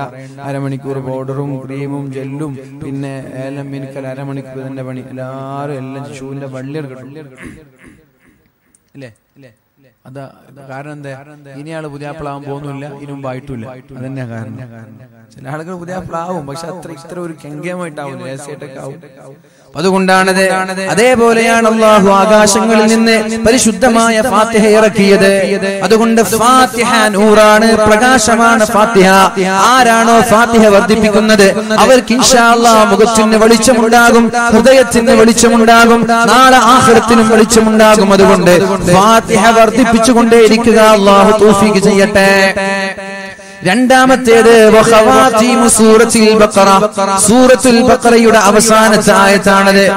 അതാണ് ഞാൻ നേരെ തോതി വെച്ചത് ലില്ലാഹി മാ ഫിസ് വമാ ഫിൽ അർദ്. വഇൻ തുബ്ദൂ മാ ഫീ അൻഫുസികും ഔ തുഖ്ഫൂഹു യുഹാസിബുകും ബിഹില്ലാഹ് തുടങ്ങുന്ന പരിശുദ്ധമായ സൂറത്തുൽ ബഖറയുടെ അവസാനത്തെ ആയത്തും അല്ലാഹു ഇറക്കിയതാണ്. ഇതുപോലെ ഗൗരവത്തോടെ ഇറക്കിയതാണ്. അതുകൊണ്ട് ആമന റസൂൽ എന്ന് പറയുന്ന ആയത്ത് സൂറത്തുൽ ഫാത്തിഹയും നിരന്തരമായി ആരാണോ വർദ്ധിക്കുന്നത്? അത് മുഴുവനും ഓതണമെന്നില്ല. അതിന്റെ ഒരു ഹർഫ് ഓതിയാൽ അതിന്റെ ഒരു ആയ ചോദിയാൽ ഇല്ല ആ ഒരു പ്രകാശം അള്ളാഹു നൽകുമെന്ന് മുഹമ്മദ് ഫാത്തിഹയുടെ ഒരു ആയ ചോദിയാൽ മതി. ആമന റസൂലിന്റെ ഒരു ആയ ചോദിയാൽ മതി. ഒരു ഹർഫ് ഓതിയാൽ മതി. മുഖത്തിന് ഹൃദയത്തിന് അവസാനം മരണസമയത്ത് എന്തെന്നില്ലാത്ത വെളിച്ചമുണ്ടാകും. മരിച്ചുപോയാൽ കബറിടം വെളിച്ചമാകും. അള്ളാഹു റബ്ബ് സുബ്ഹാനഹു വ തൗഫീഖ് നൽകി അനുഗ്രഹിക്കട്ടെ. വേറൊരു പ്രകാശം. ആ ഒരു പ്രകാശം ആരുടെയൊക്കെ മുഖത്തുണ്ട് ഞാൻ ഇങ്ങനെ നോക്കാൻ ഓരോ ആളുകളുടെ മുഖത്ത് ആ പ്രകാശമുണ്ട് സത്യസന്ധമായി കൈപൊക്കണം വെള്ളിയാഴ്ച ദിവസമാണ് സൂറത്തുൽ കഹ്ഫ് ഓതിയവരൊന്ന് കൈപൊക്ക് മതി, മതി, മതി. വെറുതെ വെക്കണം. പ്രകാശം ലഭിക്കുന്ന മറ്റൊരു അമലാണ് സൂറത്തുൽ കഹ്ഫ് എന്ന് പറയുന്നത്. അല്ലാഹുവിന്റെ ഹബീബായ റസൂലുള്ളാഹി തങ്ങൾ പറഞ്ഞു മൻ ഖറഅ സൂറത്തുൽ കഹ്ഫ് ഫീ യൗമിൽ ജുമുഅ. വെള്ളിയാഴ്ച ദിവസം ഒരാൾ സൂറത്തുൽ കഹ്ഫ് പാരായണം ചെയ്താൽ അല്ലാഹു ലഹു മിനൻ നൂരി മാ ബൈനൽ ജുമുഅത്തൈൻ അടുത്ത വെള്ളിയാഴ്ച വരെ അവന്റെ തല മുതൽ ആകാശം വരെ എന്തെന്നില്ലാത്ത വെളിച്ചമുണ്ടാകുമെന്ന് മുഹമ്മദ് അത് എന്തെന്നില്ലാത്ത വെളിച്ചമാണ്. അതിന് മഹത്വമായ പ്രതിഫലമുള്ള സൂറത്താണ്. ആ സൂറത്ത് സ്ഥിരമായി വെള്ളിയാഴ്ചകളിൽ ഓതിയാൽ മാരകമായ അസുഖങ്ങൾ പോലും വരൂല എന്ന് മഹാന്മാര് പഠിപ്പിക്കുന്നുണ്ട്. ക്യാൻസർ പോലെയുള്ള അസുഖങ്ങൾ വരൂല എന്ന് മഹാന്മാർ പഠിപ്പിക്കുന്നുണ്ട് സൂറത്തുൽ ജുമാ. എല്ലാ വെള്ളിയാഴ്ചയും ഓതിയാൽ അവർക്ക് മാരകമായ രോഗങ്ങൾ വരൂല എന്നാണ്. അതുകൊണ്ട് മകരവ് നിസ്കാരം കഴിഞ്ഞാൽ പിറ്റേ ദിവസം മകരവ് ബാങ്ക് കൊടുക്കുന്നത് വരെ സൂറത്തിൽ പാരായണം ചെയ്യാൻ സമയമുണ്ട്. ഒന്നല്ല ഒരു തവണയല്ല രണ്ട് തവണയല്ല. കഴിവിന്റെ പരമാവധി പാരായണം ചെയ്തോളൂ. നിങ്ങളുടെ തടിക്ക് നല്ലതാണത്. നിങ്ങളുടെ ശരീരത്തിന് നല്ലതാണത്. ക്യാൻസർ പോലെയുള്ള മഹാമാറാ രോഗത്തിൽ നിന്നുള്ള ശമനമാണത്. അള്ളാഹു ചാല ഓതാനുള്ള തോഫീക്ക് നൽകട്ടെ. മാറാ രോഗങ്ങളിൽ നിന്ന് അള്ളാഹു നമ്മെ സലാമത്താകട്ടെ. ഇനിയെങ്കിലും ഓതാ. നമ്മുടെ തടിക്ക് സുഖമുണ്ടെന്ന് പറഞ്ഞാൽ നമ്മൾ ഓതണ്ടേ? ഡോക്ടർ പറഞ്ഞു ഷുഗറാണ് മധുരം കഴിക്കരുത് എന്ന് പറഞ്ഞാൽ കഴിക്കാതിരിക്കുന്നത് പോലെ കൊളസ്ട്രോൾ കൂടിയിട്ടുണ്ട്. ഒന്ന് നടക്കണം എന്ന് പറഞ്ഞാൽ നടക്കുന്നത് പോലെ. യൂറിക് ആസിഡ് ഉണ്ട്. ഓടണമെന്ന് പറഞ്ഞാൽ ഓടുന്നത് പോലെ. അള്ളാഹുവിന്റെ ഹബീബ് മഹാന്മാരായ പണ്ഡിതന്മാര് പറയുകയാണ്. സൂറത്തുൽ ജുമാ. വെള്ളിയാഴ്ച ദിവസം സൂറത്തുൽ പാരായണം ചെയ്താൽ മാറാ രോഗങ്ങളിൽ നിന്ന് രക്ഷപ്പെടാൻ രക്ഷപ്പെടാമെന്ന് അത്ഭുതമുണ്ടോ നിങ്ങൾക്ക്? എനിക്കതിൽ അത്ഭുതം തോന്നുന്നില്ല. കാരണം ഫീഹി ശിഫാഉൻ ലിന്നാസ് വനുനസ്സിലു മിനൽ ഖുർആനി മാ ഹുവ ശിഫാഉൻ വറഹ്മ ഖുർആൻ എന്ന് പറയുന്നത് നിറയെ മരുന്നുകളാണ്. ഖുർആൻ എന്ന് പറയുന്നത് നിറയെ മരുന്നുകളാണ് എന്ന് പരിശുദ്ധ ഖുർആൻ അതിൽ ക്യാൻസറിന് മരുന്നുണ്ട് അതിൽ ഷുഗറിന് മരുന്നുണ്ട് അതിൽ കൊളസ്ട്രോളിന് മരുന്നുണ്ട് അതിൽ ടെൻഷന് മരുന്നുണ്ട് മാനസികമായ അസ്വസ്ഥതകൾക്കുള്ള മരുന്നുണ്ട്. പരിശുദ്ധമായ ഖുർആനിനെ അള്ളാഹു പരിചയപ്പെടുത്തുന്നത് അങ്ങനെയാണ്. വനുനസ്സിലു القرآن ما هو شفاء ورحمة പരിശുദ്ധമായ ഖുർആൻ നിറയെ മരുന്നുകളാണ് അതൊരു ആശ്വാസത്തിന്റെ വാക്കുകളാണ് എന്ന് അള്ളാഹു താല പറയുമ്പോ ആരാണോ സൂറത്തുൽ എല്ലാ വെള്ളിയാഴ്ചയും പാരായണം ചെയ്യുന്നത് അവർക്ക് അള്ളാഹു താല ഹൃദയത്തിൽ വെളിച്ചം നൽകുമെന്നാണ് ശരീരത്തിൽ വെളിച്ചം നൽകുമെന്നാണ് അവരുടെ പ്രവർത്തനത്തിൽ വെളിച്ചം നൽകുമെന്നാണ് അവരുടെ അമലിനെ അള്ളാഹു ആകാശ രോഗങ്ങളിലേക്ക് ഉയർത്തിക്കൊണ്ടു കൊണ്ടുപോകുമ്പോ പ്രത്യേകമായ ഒരു പ്രകാശത്തോടു കൂടി ഉയർത്തുമെന്നാണ്. നാളെ മഷറയിലെത്തിയാൽ അവിടെയും വെളിച്ചമുണ്ടാകുമെന്ന് മഹാന്മാര് നമ്മോട് പഠിപ്പിക്കുന്നുണ്ട്. എന്റെ ശബ്ദം ശ്രവിക്കുന്ന ഇവിടെ ഇരിക്കുന്ന ചെറുപ്പക്കാർ ഓൺലൈനിലൂടെ വീക്ഷിക്കുന്ന ആളുകൾ ഓഫ്ലൈനിലൂടെ വീക്ഷിക്കുന്ന എന്റെ പ്രിയപ്പെട്ട സഹോദരിമാർ ദയവ് ചെയ്ത് അടുത്ത ആഴ്ച മുതൽ ഒരു ആഴ്ചയും സൂറത്തിൽ ഒഴിവാക്കരുത്. അത് നിങ്ങളുടെ തടിക്കുള്ളതാണ് നിങ്ങളുടെ ആരോഗ്യത്തിനുള്ളതാണ് മഹാന്മാര് പഠിപ്പിക്കുമ്പോൾ ദയവ് ചെയ്ത് മാറരുത്. അള്ളാഹു നമ്മൾക്ക് ബോധം നൽകട്ടെ. അപ്പൊ വെളിച്ചം കിട്ടാനുള്ള അമലുകൾ എന്തൊക്കെ പറഞ്ഞു? ഒന്ന് ഖുർആൻ മൊത്തത്തിൽ രണ്ട് സൂറത്തുൽ ഫാത്തിഹയും ആമന റസൂലും. പിന്നെയോ? സൂറത്തുൽ കഹഫ് വെള്ളിയാഴ്ചകളിൽ ഓതണം. പിന്നെയുള്ള അമൽ എന്ന് പറയുന്നത് ഒരു മനുഷ്യന്റെ മുഖത്തിനും ശരീരത്തിനും നാളെ മഹ്ശറാലോകത്ത് പ്രകാശം നൽകുന്ന അമലുകൾ. ഏതൊക്കെയാണത്? ചെയ്യുമ്പോൾ. ചെയ്യുമ്പോൾ. നമ്മൾ വളരെ വളരെ ചെയ്യണം എന്നുള്ളതാണ്. നല്ല തണുപ്പുള്ള രാവിലെകളാണ് നമ്മൾക്കുള്ളത്. വാൽ കഴിഞ്ഞ് പന്ത്രണ്ട് മണി വരെ വാലിനിരുന്ന് കരഞ്ഞിട്ട് ചെയ്തിട്ട് ഇങ്ങനെ ഇവിടെ നിന്ന് സദസ്സിൽ നിന്ന് പിരിഞ്ഞു പോയി. എന്നിട്ട് നല്ല ഉറക്കാണ്. എണീക്കുന്നത് എട്ട് മണിക്ക്. നമ്മുടെ വാലുകൾ എത്രത്തോളം സ്വീകരിക്കുമെന്ന് ആലോചിച്ചാൽ മതി. വാൽ തുടങ്ങുന്നത് പത്ത് മണിക്ക്. തീരുന്നത് പന്ത്രണ്ട് മണിക്ക്. ഉറങ്ങുന്നത് രണ്ട് മണിക്ക്. രാവിലെ അലാം മുട്ടിയാൽ അറിയില്ല. കൂട്ടുകാരും മണിക്കുന്നില്ല എല്ലാവരും തഹജ്ജുദ് നിസ്കരിച്ചിരുന്നു. എല്ലാവരും ജമാഅത്തിന്റെ പള്ളിയിലേക്ക് പോയിരുന്നു. വാലിന് വന്നത് കാരണത്താൽ ഒരു വീട്ടുകാരുടെ തഹജുദ് നഷ്ടപ്പെട്ടാൽ ആരാണ് ഉത്തരവാദി? വാലിന് വന്നത് കാരണത്താൽ ഒരു വീട്ടുകാരുടെ ജമാഅത്ത് നഷ്ടപ്പെട്ടാൽ ആരാണ് ഉത്തരവാദി? സംഘാടകർ പറയും നിങ്ങളാണ്. നിങ്ങൾ ഒരു സംഘാടകരാണ്. ഞാൻ പറയും നിങ്ങളാണ്. സംഘാടകരുണ്ട് കാരണം എന്ത് ഒമ്പതര മണിക്കെന്ന് പറഞ്ഞാൽ ഒമ്പതര മണിക്ക് നമുക്ക് തുടങ്ങാൻ കഴിയാത്തത്? സംഘാടകര് പറയും ആളുകൾ എത്തിയിട്ടില്ല എന്ന്. നിങ്ങൾ പറയും പ്രവാസകൻ എത്തിയിട്ടില്ല എന്ന്. പ്രവാസകൻ വീട്ടിലിരുത്തും ഭക്ഷണം കഴിച്ചിട്ട് അരമണിക്കൂർ. ആളുകൾ എത്തിയിട്ട് പോയാൽ പോരെ എന്ന് ചോദിക്കുന്നു നിങ്ങൾ എന്ത് ചെയ്യും? പ്രവാസകൻ വേദിയിലെത്തുമ്പോ തുടങ്ങിയാൽ പതുക്കെ പതുക്കെ ഓരോ ആളുകൾ വരും. അവിടെ വണ്ടിയിലിരിക്കും ഷോപ്പിലിരിക്കും അപ്പുറത്ത് പുറത്തൊക്കെ ഇരിക്കും. വാൽ തുടങ്ങിയാൽ പതുക്കെ പതുക്കെ ഓരോ ആളുകൾ വന്നിട്ടിരിക്കും. എന്നിട്ട് സദസ്സ് ഫുൾ ആവണമെങ്കിൽ പത്ത് പത്തര മണി പിന്നെ വേറൊരു പന്ത്രണ്ടര മണി വരെ നേരെ മറിച്ച് ഞാൻ നിങ്ങൾക്ക് ഒരു ഉദാഹരണം കാണിച്ചു തരാം. ഞാൻ വേണമെങ്കിൽ ഇപ്പൊ സംഘാടകർ പറഞ്ഞുതരാം. ഒരു ഒരു എട്ടര മണിക്ക് വാൽ തുടങ്ങാൻ നമ്മൾ തീരുമാനിച്ചു എന്ന് സങ്കല്പിക്കാം. എങ്കിൽ വരാൻ ബുദ്ധിമുട്ടുള്ളവർ മാത്രം കൈപ്പൊക്കെ എട്ടര മണിക്ക് തുടങ്ങി എനിക്ക് എത്താൻ കഴിയില്ല എന്ന് പറയുന്നവർ കൈപ്പൊക്കെ കണ്ടില്ലേ? കണ്ടില്ലേ? ഇതാണ് നമ്മുടെ അവസ്ഥ. ആർക്കും ഒരു അസൗകര്യമില്ല നമ്മൾ തുടങ്ങുന്നത് ഒമ്പതര മണിയായതുകൊണ്ട് ഇവർ പത്ത് മണിക്ക് എത്തുന്നു എന്നതാണ്. നിങ്ങൾ അടുത്ത വർഷം എട്ടര മണിക്ക് തുടങ്ങി നോക്ക്. ഞാൻ പറയാം എട്ടര മണിക്ക് തുടങ്ങിയാൽ ഒമ്പത് മണിയാകുമ്പോ ഇതിനേക്കാളും സദസ് നിങ്ങൾക്ക് ഞാൻ കാണിച്ചു തരാം. ഇതിനേക്കാളും വിശാലമായ സദസ് ആ സദസ്സിനൊരു പ്രത്യേകതയുണ്ട്. സമയം പോകുന്നതിനനുസരിച്ച് കുറഞ്ഞു വരുന്ന സദസ്സായിരിക്കൂല അത്. പത്തര മണിയാകുമ്പോൾ ഗ്രൗണ്ട് നിറയും ആ സദസ് ഈ സദസ്സിനൊരു പ്രത്യേകത വേറുന്നുണ്ട്. തുടങ്ങുമ്പോൾ ഗ്രൗണ്ട് നിറയെ അവസാനമാകുമ്പോൾ നാലഞ്ച് കസേരകൾ ബാക്കി എല്ലാവരും ഇങ്ങനെ പത്തരയാകുമ്പോ പതിനൊന്ന് മണിയാകുമ്പോ പതിനൊന്നരയാകും മണിട്ട് പോകും. അതല്ല സദസ് തീരുമ്പോഴേക്കും മനോഹരമായ സദസ് എന്നിട്ട് എല്ലാവരെയും കൂട്ടുനിർത്തിയൊരു പ്രാർത്ഥന. എന്ത് രസമുണ്ടാകും. നേരെ മറിച്ച് വാൾ കഴിയുമ്പോഴേക്കും മണിറ്റ് പോയി.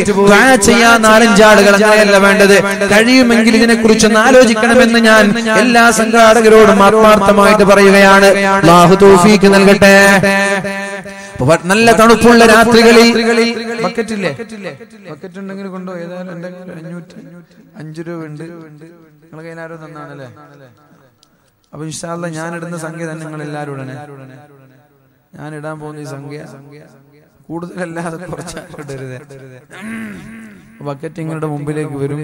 നിങ്ങളുടെ പോക്കറ്റിൽ അഞ്ഞൂറ് ഉണ്ടെങ്കിൽ അഞ്ഞൂറ് ഇട്ടോളൂ കൂടുതലും ഇടാവുന്നതാണ്. ഇനി അഞ്ഞൂറില്ല നൂറേ ഉള്ളെങ്കിൽ ഇട്ടു ഇതിനേക്കാളും കുറച്ചാണെങ്കിൽ പിന്നെ സൗകര്യം പോലെ. ഒന്നുമില്ല ആകെയുള്ളത് പത്ത് രൂപ അതിട്ടുള്ളൂ ഇനി വിടണ്ടെന്നല്ല ആകെയുള്ളത് പത്ത് പത്തിട്ടുള്ളൂ പത്തും നൂറും അഞ്ഞൂറും രണ്ടായിരം ഉണ്ടെങ്കിൽ രണ്ടായിരം ഇടണം. പത്തുനൂറ് അഞ്ഞൂറ് ഉണ്ടെങ്കിൽ അഞ്ഞൂറ് ഏതാ വലുത് അത്. അതാണ് അതിനൊരു ബർക്കത്ത് എങ്ങനെയാണ്? അതിന് കൂലി കിട്ടുന്നത് എങ്ങനെയാണ്? തൗഫീഖ് ചെയ്യട്ടെ. അർഷിന്റെ തണൽ ലഭിക്കുന്ന ഒരു അമലാണ് ബക്കറ്റ് എന്ന് പറയുന്നത്. അർഷിന്റെ തണൽ കിട്ടുന്ന ഒരു അമലാണ്. അപ്പൊ എത്ര കണ്ട് ഇത്തരം ബക്കറ്റുകളിൽ രഹസ്യമായി നല്ല സംഖ്യ നമ്മൾ ഇടുന്നുണ്ടോ? അതിനനുസരിച്ച് അർഷിന്റെ തണൽ നാളെ കിട്ടും. ബക്കറ്റ് ആരും കാണൂല. ഞാനിപ്പോ റഷീദ് ഖാന്റെ കയ്യിൽ ഒരാളാ ക്യാഷ് കൊടുത്തു. അത് റഷീദ് അറിഞ്ഞു. ആരാണ് ഈ കൊടുത്തത്? അപ്പൊ അയാൾ സ്വതക്ക വലത് കൈ കൊടുത്തത് റഷീദ് പറഞ്ഞു ഇടത് കൈ പറഞ്ഞു നേരെ മറിച്ച് ബക്കറ്റ് ആകുമ്പോ ആരും അറിയില്ല ഞാനും അറിയില്ല സംഘാടകർ അറിയില്ല ബക്കറ്റും അറിയില്ല ആരും അറിയില്ല. അതാണ് രഹസ്യമായ സ്വതക്ക എന്ന് പറയുന്നത്. അത്തരം സ്വതക്കകൾ നിങ്ങൾ എന്ത് ചെയ്യുക ആത്മാർത്ഥമായിട്ട് ചെയ്യാം. പള്ളിയുടെ ഭണ്ഡാരപ്പെട്ടി. പള്ളിയിൽ പോയാൽ അവിടെ ഭണ്ഡാരപ്പെട്ടി ഉണ്ടാകും എല്ലാവരും ഉറങ്ങുന്ന സമയത്ത് അല്ലെങ്കിൽ ആരും ഇല്ലാത്ത സമയത്ത് അവിടെ പോയിട്ട് രണ്ടായിരം രൂപയുടെ ആർഷിന്റെ തണൽ കിട്ടും ഞാൻ ഉറപ്പില്ല. ഞാൻ ഉറപ്പ് തരാം തണൽ തമ്മിലുണ്ട്. ദാരും ആരും കാണാതിട്ട് വലിയ രണ്ടായിരം രൂപ എന്ന് പറഞ്ഞാൽ നല്ല സംഖ്യ അല്ലേ ചെറിയ സംഖ്യയാണ്. രണ്ടായിരം രൂപ എന്ന് പറഞ്ഞാലാണോ? നല്ല സംഖ്യ അല്ലേ കുറച്ചോ നിങ്ങൾക്ക് രണ്ടായിരം ഒന്നും വലിയ സംഖ്യ അല്ലേ നിങ്ങൾ പൈസക്കാരായ നമ്മൾ എന്ത് ചെയ്യാം? എന്നെ സംബന്ധിച്ചിടത്തോളം രണ്ടായിരം പറഞ്ഞാൽ നല്ല സംഖ്യയാണ്. പക്ഷെ അതൊക്കെ നല്ല- സംഖ്യകളാണ്. അതുകൊണ്ട് എന്ത് ചെയ്യണം? വളരെ രഹസ്യമായി നമ്മൾ സംഭാവനകൾ ചെയ്യണം. ബക്കറ്റുകളിലൊക്കെ പ്രത്യേകമായി. നൽകട്ടെ. അപ്പോ നമ്മുടെ മുഖത്തിനും ശരീരത്തിനും പ്രകാശം ലഭിക്കാനുള്ള അമലുകൾ ഒരുപാടുണ്ട്. ഇന്ന ഉമ്മത്തി യുദഊന യൗമൽ ഖിയാമ. ഖുർറൻ മുഹജ്ജലീന മിൻ ആസാരിൽ വുളൂ വുളൂ ചെയ്തത് കാരണത്താൽ അവരുടെ കൈകാലുകളും അവരുടെ മുഖത്തിനും പ്രത്യേകമായ ഒരു വെളിച്ചം ഉണ്ടാകുമെന്ന് മുഹമ്മദ് ഒരാൾക്ക് ഏറ്റവും തണുപ്പുള്ള രാത്രിയിൽ വെള്ളമെടുത്തിട്ട് ഇങ്ങനെ കൊടഞ്ഞാൽ പോരാ. ചില ആളുകൾ അങ്ങനെ ചെയ്യുക തണുപ്പുള്ള രാത്രികളിൽ വുളു ചെയ്യും ഇങ്ങനെ കൊടയും. എന്നാൽ നിങ്ങൾ പാകിസ്ഥാനികളെ കണ്ടുപിടിക്കണം. നല്ല ചുട്ടുപൊള്ളുന്ന വെള്ളം പൈപ്പിലൂടെ കടന്നു വന്നാലും ഒരു കൂസലുമില്ലാതെ അതിന്റെ താഴെ കൈയും വെച്ച് ഇങ്ങനെ കഴുകും അവർ. ഒരു കൂസലും അവർക്കുണ്ടാവൂല നമ്മൾക്കാണെങ്കിൽ പൊള്ളിയിട്ട് കൈ അവിടെ വെക്കാനേ കഴിയില്ല. എന്നാൽ തണുപ്പുള്ള രാത്രികളിലും ചൂടുള്ള രാത്രികളിലും എപ്പോഴായാലും ശരി. അഥവാ നമ്മൾക്ക് സഹിക്കാൻ കഴിയാത്ത സമയങ്ങളിൽ ചെയ്യുമ്പോൾ കാറ്റ് ചെയ്യുന്നവർ കാൽ കഴുകുമ്പോൾ കാറ്റ് ചെയ്യുന്നവർ മുഖം കഴുകുമ്പോൾ കയറ്റി ചെയ്യുന്നവർ ഇത്തരം ആളുകൾ അള്ളാഹു താല എന്തെന്നില്ലാത്ത വെളിച്ചം നാളെ അക്ഷരാ നൽകുമെന്നാണ്. ഇവർക്ക് പ്രത്യേകമായ ഒരു പരിഗണന ഉണ്ടാകുമെന്നാണ്. ആളുകളെല്ലാം ഇവരെ നോക്കുമെന്നാണ്. ഇവരുടെ മുഖവും ഇവരുടെ കൈകളും ഇവരുടെ കാലുകളും കാണുമ്പോൾ ആളുകൾ ഇവരെ പ്രത്യേകമായി ആദരിക്കുമെന്നാണ്. അതുകൊണ്ട് പ്രകാശം ലഭിക്കാനുള്ള മറ്റൊരു അമലെ ചെയ്യുമ്പോൾ നന്നായി കയറ്റി ചെയ്യുക എന്നുള്ളതാണ്. അള്ളാഹു നമ്മുടെ ഹൃദയത്തിന് പ്രകാശം നൽകി അനുഗ്രഹിക്കട്ടെ. പിന്നെ നബി തങ്ങൾ പറഞ്ഞു പ്രകാശം ലഭിക്കാനുള്ള മറ്റൊരു അമൽ. നിസ്കാരം എന്നുള്ളത് വെളിച്ചമാണ്. നിസ്കാരം എന്നുള്ളത് വെളിച്ചമാണ്. ശ്രദ്ധിക്കണം ഒരാളുടെ കബറ് വെളിച്ചമാകണമെന്ന് ആഗ്രഹമുണ്ടോ? ഇവിടെ കൂടിയിരിക്കുന്ന നിങ്ങളുടെ കബറിടം നാളെ വെളിച്ചമാകണമെന്ന് നിങ്ങൾ ആഗ്രഹിക്കുന്നുണ്ടോ? നിങ്ങളുടെ ഈ മനോഹരമായ വെളിച്ചം നിങ്ങളുടെ വീടിന്റെ അകത്തലങ്ങളിലുള്ള വെളിച്ചം ഇതിനേക്കാളും വെളിച്ചമുള്ള കബറായി നിങ്ങളുടെ കബറ് മാറാൻ നിങ്ങൾക്ക് ആഗ്രഹമുണ്ടോ? ഇതിനേക്കാളും നിങ്ങളുടെ വീടിനേക്കാളും വിശാലമായ വീടായി നിങ്ങളുടെ കബറിടം മാറാൻ നിങ്ങൾ ആഗ്രഹിക്കുന്നുണ്ടോ? ഒരു ശിക്ഷ പോലും ഇല്ലാതെ പുഞ്ചിരിയോടെ കബറിടത്തിലേക്ക് പോയി. അള്ളാഹുവിന്റെ മാലാക്കമാര് ഇരു കരങ്ങളും നീട്ടി സ്വീകരിക്കുന്ന ഒരു കബറിടമായി നിങ്ങളുടെ കബറിടം മാറാൻ നിങ്ങൾ ആഗ്രഹിക്കുന്നുണ്ടോ എങ്കിൽ നാല് കാര്യം ചെയ്യണമെന്നാണ് പറഞ്ഞത്. അതിലൊന്ന് നമ്മൾ പറഞ്ഞു കഴിഞ്ഞു ഖുർആൻ പരിശുദ്ധമായ ഖുർആൻ ഓതണമെന്നാണ് ഖുർആൻ ഓതുന്ന ആളുകളുടെ കബറിടം വെളിച്ചമാകുമെന്നാണ് വിശാലമാകുമെന്നാണ് ശിക്ഷയുണ്ടാവൂല എന്നാണ്. രണ്ടാമത്തേത്. നിസ്കാരങ്ങൾ വളരെ കൃത്യമായി നിർവഹിക്കണമെന്നാണ്. ബാങ്ക് വിളിക്കുമ്പോൾ പള്ളിയിൽ പോകണം ബാങ്ക് വിളിക്കുമ്പോൾ പള്ളിയിൽ പോകണം ജമാഅത്തായി പള്ളിയിൽ വെച്ച് നിസ്കരിക്കണം. അതാണ് നിസ്കാരത്തിന്റെ ശൈലി. ഈ മഹല്ല് കല്ലിങ്കൽ മഹല്ലാണ്? തൊട്ടിയൽ ഇതൊന്നും തന്നെയാണ് തൊട്ടി വേറെ മഹലല്ലേ ഇവിടെ ബദ്രുദ്ദീൻ തൊട്ടി നമ്മളെ ഒരു സുഹൃത്താണ് പ്രത്യേകം ദുആ ചെയ്യാൻ പറഞ്ഞിട്ടുണ്ട്. അള്ളാഹു ഖൈർ ചെയ്യട്ടെ ജോലിയിലൊക്കെ അള്ളാഹു ഖൈർ ചെയ്യട്ടെ ഖൈറായ ജോലിക്ക് അള്ളാഹു നൽകട്ടെ. നൽകട്ടെ ഈ കല്ലിങ്കൽ എന്ന മഹല്ലിന്റെ പരിധിയിലുള്ള ആളുകൾ ഇതാ നമ്മുടെ പള്ളി. ഈ പള്ളിയിൽ നിന്ന് ബാങ്കിന്റെ വിളി കേട്ടാൽ വീട്ടിൽ വെച്ച് നിസ്കരിക്കുന്നത് തെറ്റാണ്. വീട്ടിൽ വെച്ച് നിസ്കരിക്കുന്നത് തെറ്റാണ്. അള്ളാഹുവിന്റെ ഹബീബിന്റെ സുന്നത്തിനെതിരാണ് എന്ന് ആനായ അബ്ദുല്ലാഹിബിൻ മസ്ഊദ് റളിയല്ലാഹു അൻഹു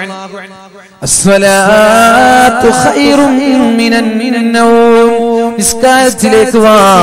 ഉറക്കിനേക്കാളും നല്ലത് നിസ്കാരമാണ്.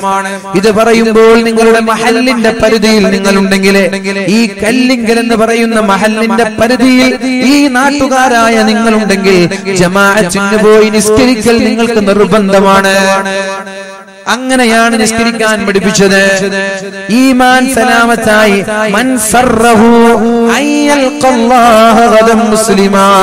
ഒരാൾക്ക് മുസ്ലിമായി മരണപ്പെടണമെന്നുള്ള ആഗ്രഹമുണ്ടെങ്കിൽ ചെവി തുറന്ന് കേട്ടോ എന്റെ പ്രിയപ്പെട്ട ചെറുപ്പക്കാരെ. ചെവി തുറന്ന് കേട്ടോളൂ എന്റെ പ്രിയപ്പെട്ട ഉപ്പമാരെ. ഈമാൻ സലാമത്തായി പുഞ്ചിരിച്ച് മരണപ്പെടാൻ ഒരാൾക്ക് ആഗ്രഹമുണ്ടെങ്കിൽ അഞ്ചു നേരത്തെ നിസ്കാരങ്ങൾ എവിടെ നിന്നാണോ നിസ്കരിക്കാൻ നിങ്ങളെ വിളിച്ചത്? അവിടെ പോയി ജമാഅത്തിൽ പങ്കെടുത്ത് നിസ്കരിക്കണമെന്ന് മഹാനായ അബ്ദുല്ലാഹിബിൻ മസ്ഊദ് തങ്ങൾ റിപ്പോർട്ട് ചെയ്തത് സ്വഹീഹ് മുസ്ലിമിൽ കാണാൻ കഴിയും.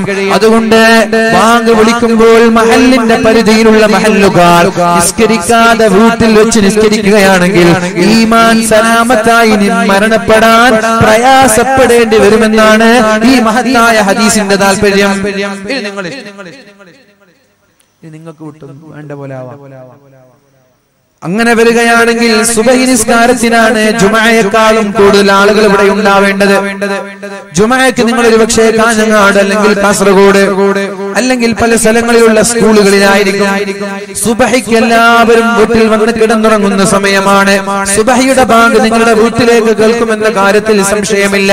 എന്നാൽ ആ സുബഹി നിസ്കാരത്തിന് പത്ത് വയസ്സിന്റെ മുകളിലുള്ള എല്ലാ മക്കളും പള്ളിയിലേക്ക് പോകണം. പത്ത് വയസ്സിന്റെ മുകളിലുള്ള എല്ലാവരും നടക്കാൻ കഴിയാത്തവർക്ക് വരെ എക്സ്ക്യൂസ് കൊടുത്തിട്ടില്ല. പക്ഷേ എന്നാലും അവരെ നമ്മൾക്ക് ഒഴിവാക്കാം. ശാരീരികമായ പ്രയാസമുള്ളവരെ നമ്മൾക്ക് ഒഴിവാക്കാം. എണീക്കാൻ കഴിയാത്തവർ നടക്കാൻ കഴിയാത്തവർ ബാങ്കിന്റെ വിളിയാണ് കേട്ടപ്പോൾ എന്നെ ഒന്ന് പള്ളിയിലേക്ക് കൊണ്ടുപോകൂ എന്ന് പറഞ്ഞപ്പോൾ കൂടെയുള്ളവർ പറഞ്ഞു എന്തിനാണ് നിങ്ങൾ ഇങ്ങനെ കഷ്ടപ്പെടുന്നത്? നിങ്ങൾക്ക് എക്സ്ക്യൂസ് ഉണ്ടല്ലോ നിങ്ങൾക്ക് ഇളവുണ്ടല്ലോ പോയില്ലെങ്കിൽ പ്രശ്നമില്ലല്ലോ. അപ്പോഴാണ് അദ്ദേഹം പറഞ്ഞത് ബാങ്കിന്റെ വിളി കേട്ടാൽ പിന്നെ എങ്ങനെയാണ് പള്ളിയിൽ പോവാതെ ഞാൻ അവിടെ ഇരിക്കുന്നത്? അങ്ങനെ പള്ളിയിൽ പോയി ഇമാമ നിസ്കരിക്കാൻ തുടങ്ങി. നിസ്കാരം തുടങ്ങിയിട്ട് റുക്കോയിലേക്ക് പോയി. റുക്കോയിൽ നിന്ന് അയാൾ എണീച്ചില്ല കോയിൽ കിടന്ന് മരണപ്പെടുകയാണ് അയാൾ ചെയ്തത്. അപ്പൊ നമ്മൾ എന്താ ചെയ്യേണ്ടത്?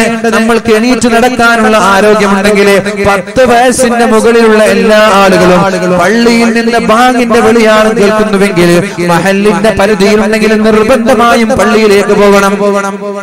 ആരെങ്കിലും ഒരാൾ പോയില്ലെങ്കിലോ? ആരെങ്കിലും ഒരാൾ പോവാതെ വീട്ടിൽ വെച്ച് നിസ്കരിച്ചാൽ അവർ അള്ളാഹുവിന്റെ ഹബീബിന്റെ സുന്നത്തിന് എതിരാണ് പ്രവർത്തിച്ചത് എന്ന് മഹാനായ അബ്ദുല്ലാഹിബിൻ മസൂദ് തങ്ങൾ ഹബീബിന്റെ സുന്നത്തിനെതിരെ ഒരാൾ പ്രവർത്തിച്ചാൽ അയാൾ വഴി പിഴച്ചു പോയി എന്നും മഹാനായ അബ്ദുല്ലാഹിബിൻ മസൂദ് തങ്ങൾ അവർ നരകത്തിലേക്ക് പെട്ടുപോകുമെന്നും മഹാനായ അബ്ദുല്ലാഹിബിൻ മസൂദ് തങ്ങൾ പറയുന്നുണ്ട്.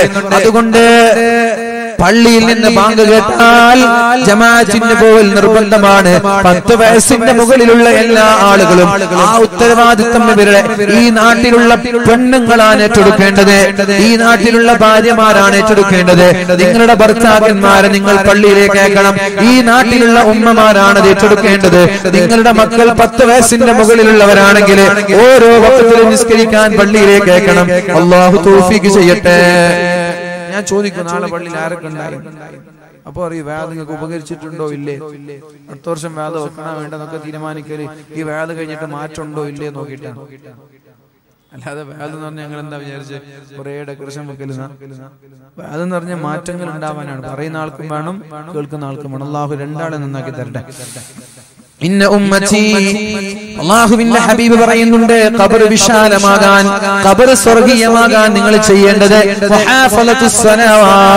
നിസ്കാരങ്ങൾ വളരെ കൃത്യമായി ബാങ്ക് വിളിക്കുമ്പോൾ ജമാഅത്തിൽ പോയി പങ്കെടുക്കുന്നവരാണെങ്കിൽ അവരുടെ ഖബർ വെളിച്ചമാകും അവരുടെ ഖബർ വിശാലമാകുമെന്ന് അവരുടെ ഖബറിൽ നിന്ന് അള്ളാഹു ശിക്ഷ ഉയർത്തുമെന്ന് മുഹമ്മദ് റസൂലുള്ള. മൂന്നാമത്തെ അമൽ സ്വതക്കയാണ്. മൂന്നാമത്തെ അമൽ സ്വതക്കയാണ്. സ്വതക്ക ചെയ്യുന്ന ആളുകളുടെ കബരിടം വിശാലമാകുമെന്നാണ്. സ്വതക്ക ചെയ്യുന്നവരുടെ കബരിടം വെളിച്ചമാകുമെന്നാണ്. സ്വതക്ക ചെയ്യുന്നവരുടെ കബരിടത്തിൽ അള്ളാഹു ശിക്ഷ നൽകൂല എന്ന് മുഹമ്മദ് അതുകൊണ്ട് നിങ്ങളുടെ മനസ്സിൽ എന്തെങ്കിലും ഒരു സ്വതക്ക ഒന്നുകിൽ നിങ്ങളുടെ കബരിടം വിശാലമാവാൻ അല്ലെങ്കിൽ നിങ്ങളുടെ മാതാപിതാക്കളുടെ കബരിടം വെളിച്ചമാവാൻ വേണ്ടി നിങ്ങളിൽ നിന്ന് മരണപ്പെട്ടു പോയ നിങ്ങളുടെ ഉമ്മ നിങ്ങളിൽ നിന്ന് മരണപ്പെട്ടു പോയ നിങ്ങളുടെ പിതാവ് അവരൊക്കെ ഒരു പക്ഷേ കബരിടത്തിൽ പ്രയാസപ്പെടുന്നവരായിരിക്കാം ഒരു പക്ഷേ കബറിടത്തിൽ ശിക്ഷിക്കപ്പെടുന്നവരാവാൻ സാധ്യതയുണ്ട്. അത്തരം മാതാപിതാക്കൾക്ക് വേണ്ടി ദുആ ചെയ്യേണ്ടത് നമ്മുടെ ബാധ്യതയാണ്.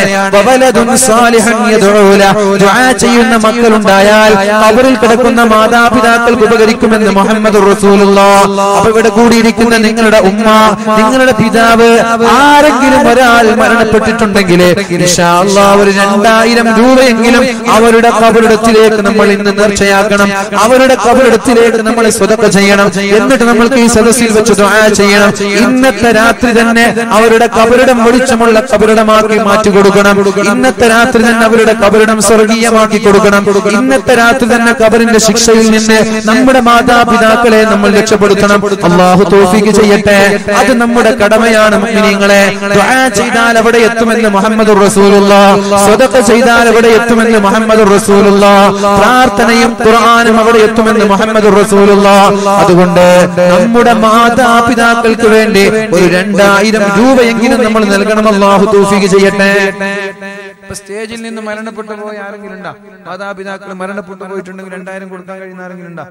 നമ്മുടെ സ്റ്റേജിൽ രണ്ടായിരം രൂപ നിങ്ങളുണ്ട്. ആ, രണ്ടാൾ മരണപ്പെട്ടിട്ടുണ്ട് ഒരാളും ഒരാൾ മരണപ്പെട്ടു. ആരാന്ന്? ബാഹുവെ മരണപ്പെട്ടു പോയ പിതാവിന്റെ കബറിടത്തിലേക്ക് ആ സംഭാവന നീ എത്തിച്ചു കൊടുക്കണേ അല്ല. വെളിച്ചമാക്കി കൊടുക്കണേ റബ്ബേ. വിശാലമാക്കി കൊടുക്കണേ അല്ല. അള്ളാഹുവേ സ്വാലിഹീങ്ങളായ മക്കളുടെ പ്രാർത്ഥന. മക്കളോട് പറഞ്ഞത് മാതാപിതാക്കൾക്ക് ദ്വായ ചെയ്യാനാണ്. അള്ളാഹുവേ ഈ ഓരോ രൂപയ്ക്കും ലക്ഷക്കണക്കിന് പ്രതിഫലങ്ങളായി ആ കബറിടത്തിലേക്ക് എത്തിച്ച് ഈ മഹത്തായ സദസ്സയുടെ പറക്കത് കൊണ്ട് ഈ മഹത്തായ സദസ്സിന്റെ പറക്കത്ത് കൊണ്ട് ഇന്നത്തെ രാത്രി തന്നെ കബറിടം വെളിച്ചമാക്കണേ അല്ലാ. മക്കൾ ഈ മകൻ മാതാപിതാക്കളുടെ തൃപ്തി ലഭിച്ച മക്കളിൽ ഉൾപ്പെടുത്തണേ അല്ലാഹുവെ ജീവിച്ചിരിക്കുന്ന മാതാവിന് ആഫിയത്തും ആരോഗ്യവും നൽകണേ റബ്ബേ ആരെങ്കിലും ഉണ്ടോ? പറഞ്ഞോളൂ ട്ടാ. ആ, മരിച്ച ആളുണ്ടോ? ഉപ്പാനും ഉമ്മാന്റെ പേരിൽ. അതുപോലെ മരിച്ച ഭർത്താവിന്റെ പേരിൽ രണ്ടായിരം രൂപ സദസ്സിലുണ്ടെങ്കിലും ഞാൻ ഒരു അഞ്ച് മിനിറ്റ് ചെലവഴിച്ചോട്ടെ? ഒന്നുമില്ല ഞാനിതെല്ലാ എല്ലാ സദസ്സിൽ എടുക്കുന്ന ഒരു സ്വതക്കയാണ്. സംഘാടകർക്ക് വേണ്ടിട്ടല്ല നിങ്ങളുടെ മാതാപിതാക്കൾക്ക് വേണ്ടിയിട്ട് എല്ലാ സദസ്സിലും എടുക്കാറുണ്ട്. ഞങ്ങളുടെ അതിഞ്ഞാൽ പ്രസംഗിച്ചപ്പോൾ എടുത്തിട്ടുണ്ട് ഒരുപാട് ആളുകൾ മരണപ്പെട്ടവർക്ക് വേണ്ടിയിട്ട് രണ്ടായിരം കൊടുത്തിട്ടുണ്ട്. ജീവിച്ചിരിക്കുന്ന മാതാപിതാക്കളുടെ ആഫിയത്തിന് വേണ്ടിയിട്ടും കൊടുക്കും. സദസ്സിലുണ്ടെങ്കിലും ഒന്ന് കൈപ്പൊക്കെ മരിച്ചുപോയ മാതാ ഉമ്മയ്ക്ക് വേണ്ടിയിട്ടോ ഉപ്പയ്ക്ക് വേണ്ടിയിട്ടോ രണ്ടായിരം രൂപ കൊടുത്തിട്ട് ചെയ്യാം ഒരാൾ ആരം മരണപ്പെട്ട് അല്ലാ. വേറെ വേറെ ആരെങ്കിലും ഒന്ന് കൈപ്പൊക്കെ ഒരാളുണ്ട്. ആരാ മരണപ്പെട്ട്? രണ്ടാളും ഒരാൾ. ഒരാൾ. ബാപ്പ. ബാപ്പ. വേറെ ആരുള്ള സഹോദരിമാരുണ്ടെങ്കിലും എഴുതി കൊടുക്കണേ? വേറെ ആരുള്ള ഇനി മരണപ്പെട്ടിട്ടില്ലെങ്കിൽ ജീവിച്ചിരിക്കുന്ന മാതാപിതാക്കൾക്കും കൊടുക്കാം. ജീവിച്ചിരിക്കുന്ന മാതാപിതാക്കളുടെ ആഫിയത്തിനും ആരോഗ്യത്തിനും വേണ്ടി കൊടുത്താൽ അത് നിങ്ങൾക്ക് തന്നെ കിട്ടും. എന്താ വെച്ചാൽ അവർക്ക് രോഗം ഉണ്ടായാൽ നിങ്ങൾ തന്നെ അവർ ഹോസ്പിറ്റലിൽ കൊണ്ടുപോകേണ്ടത് ചികിത്സിക്കേണ്ടതൊക്കെ. അപ്പൊ അവർക്ക് രോഗങ്ങളൊന്നും വരാതിരിക്കാൻ വേണ്ടിയിട്ട് കൊടുക്കുക. ആഫിയത്തിനും കൊടുക്കുക. ഇനി ആരെങ്കിലും ഉണ്ടോ ഞാൻ സമയമൊന്നും കളയൂല ഇതിനു വേണ്ടിയിട്ട്. ഒരു ഒരു രണ്ട് ഒരു മിനിറ്റ് ഞാൻ നിങ്ങൾ പുരുഷന്മാരോട് ചോദിക്കും. ആരെങ്കിലും ഉണ്ടോ സൈഡിലുള്ളവർ സ്റ്റേജിലുള്ളവർ ആരെങ്കിലും ഉണ്ട് ഇനി? ഉമ്മയ്ക്ക്? ഒരാളുണ്ട്. ഉമ്മ ആരാ മരണപ്പെട്ട്? ഒരാൾ ഒരാളല്ലേ? വേറെ ആരാൾ വേറെ ഒരാളുണ്ട്. ആരാ മരണപ്പെട്ട്? ഉപ്പ ഉപ്പ. പിന്നെ പിന്നെ പിന്നെ?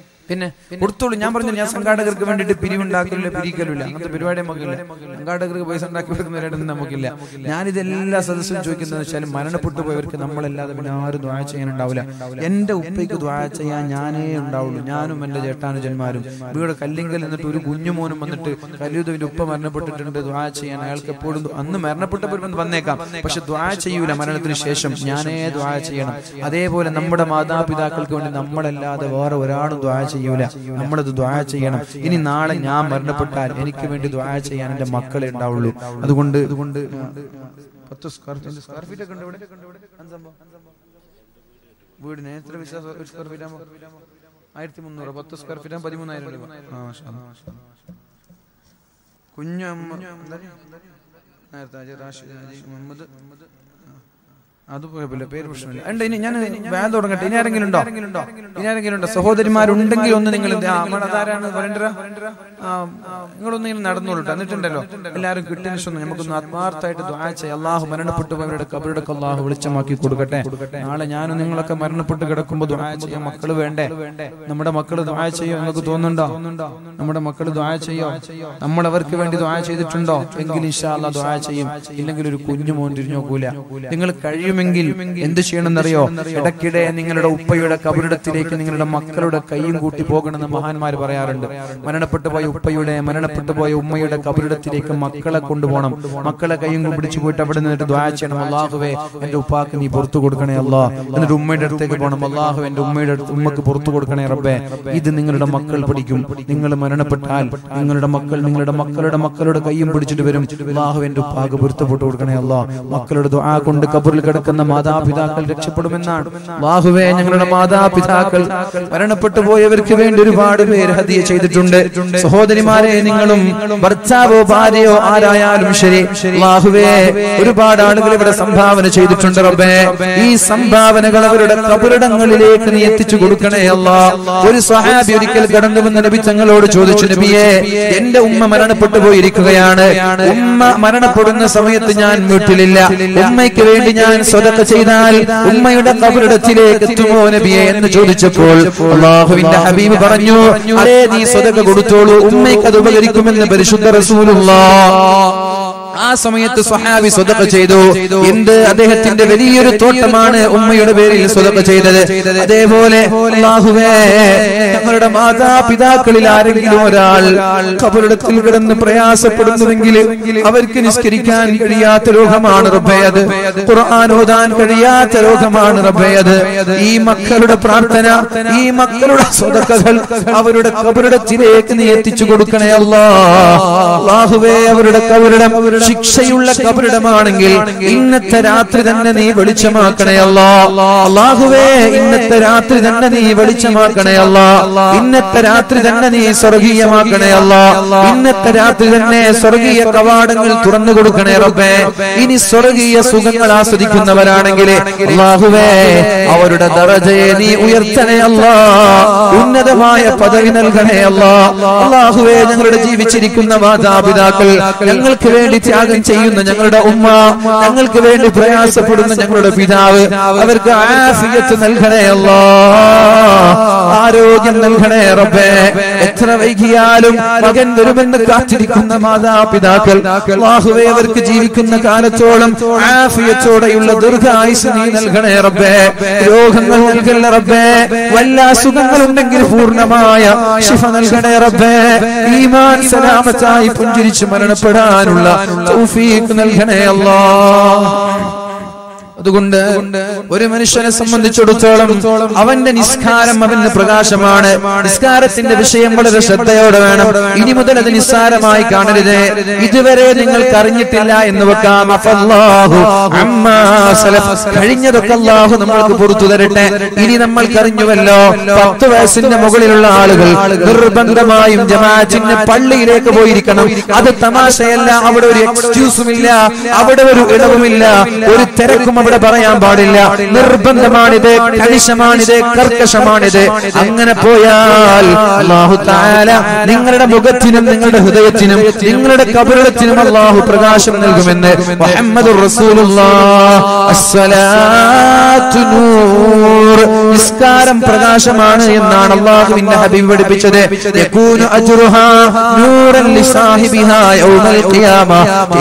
നാളിൽ ആളുകൾ ഒരുമിച്ച് കൂടുന്ന മഷറാവൻ സഭയിൽ അതേപോലെ തന്നെ ബർസഖിയായ കബറിടത്തിലെ അള്ളാഹു താല നിസ്കരിക്കുന്ന ആളുകൾക്ക് എന്തെന്നില്ലാത്ത പ്രകാശം നൽകുമെന്നാണ്.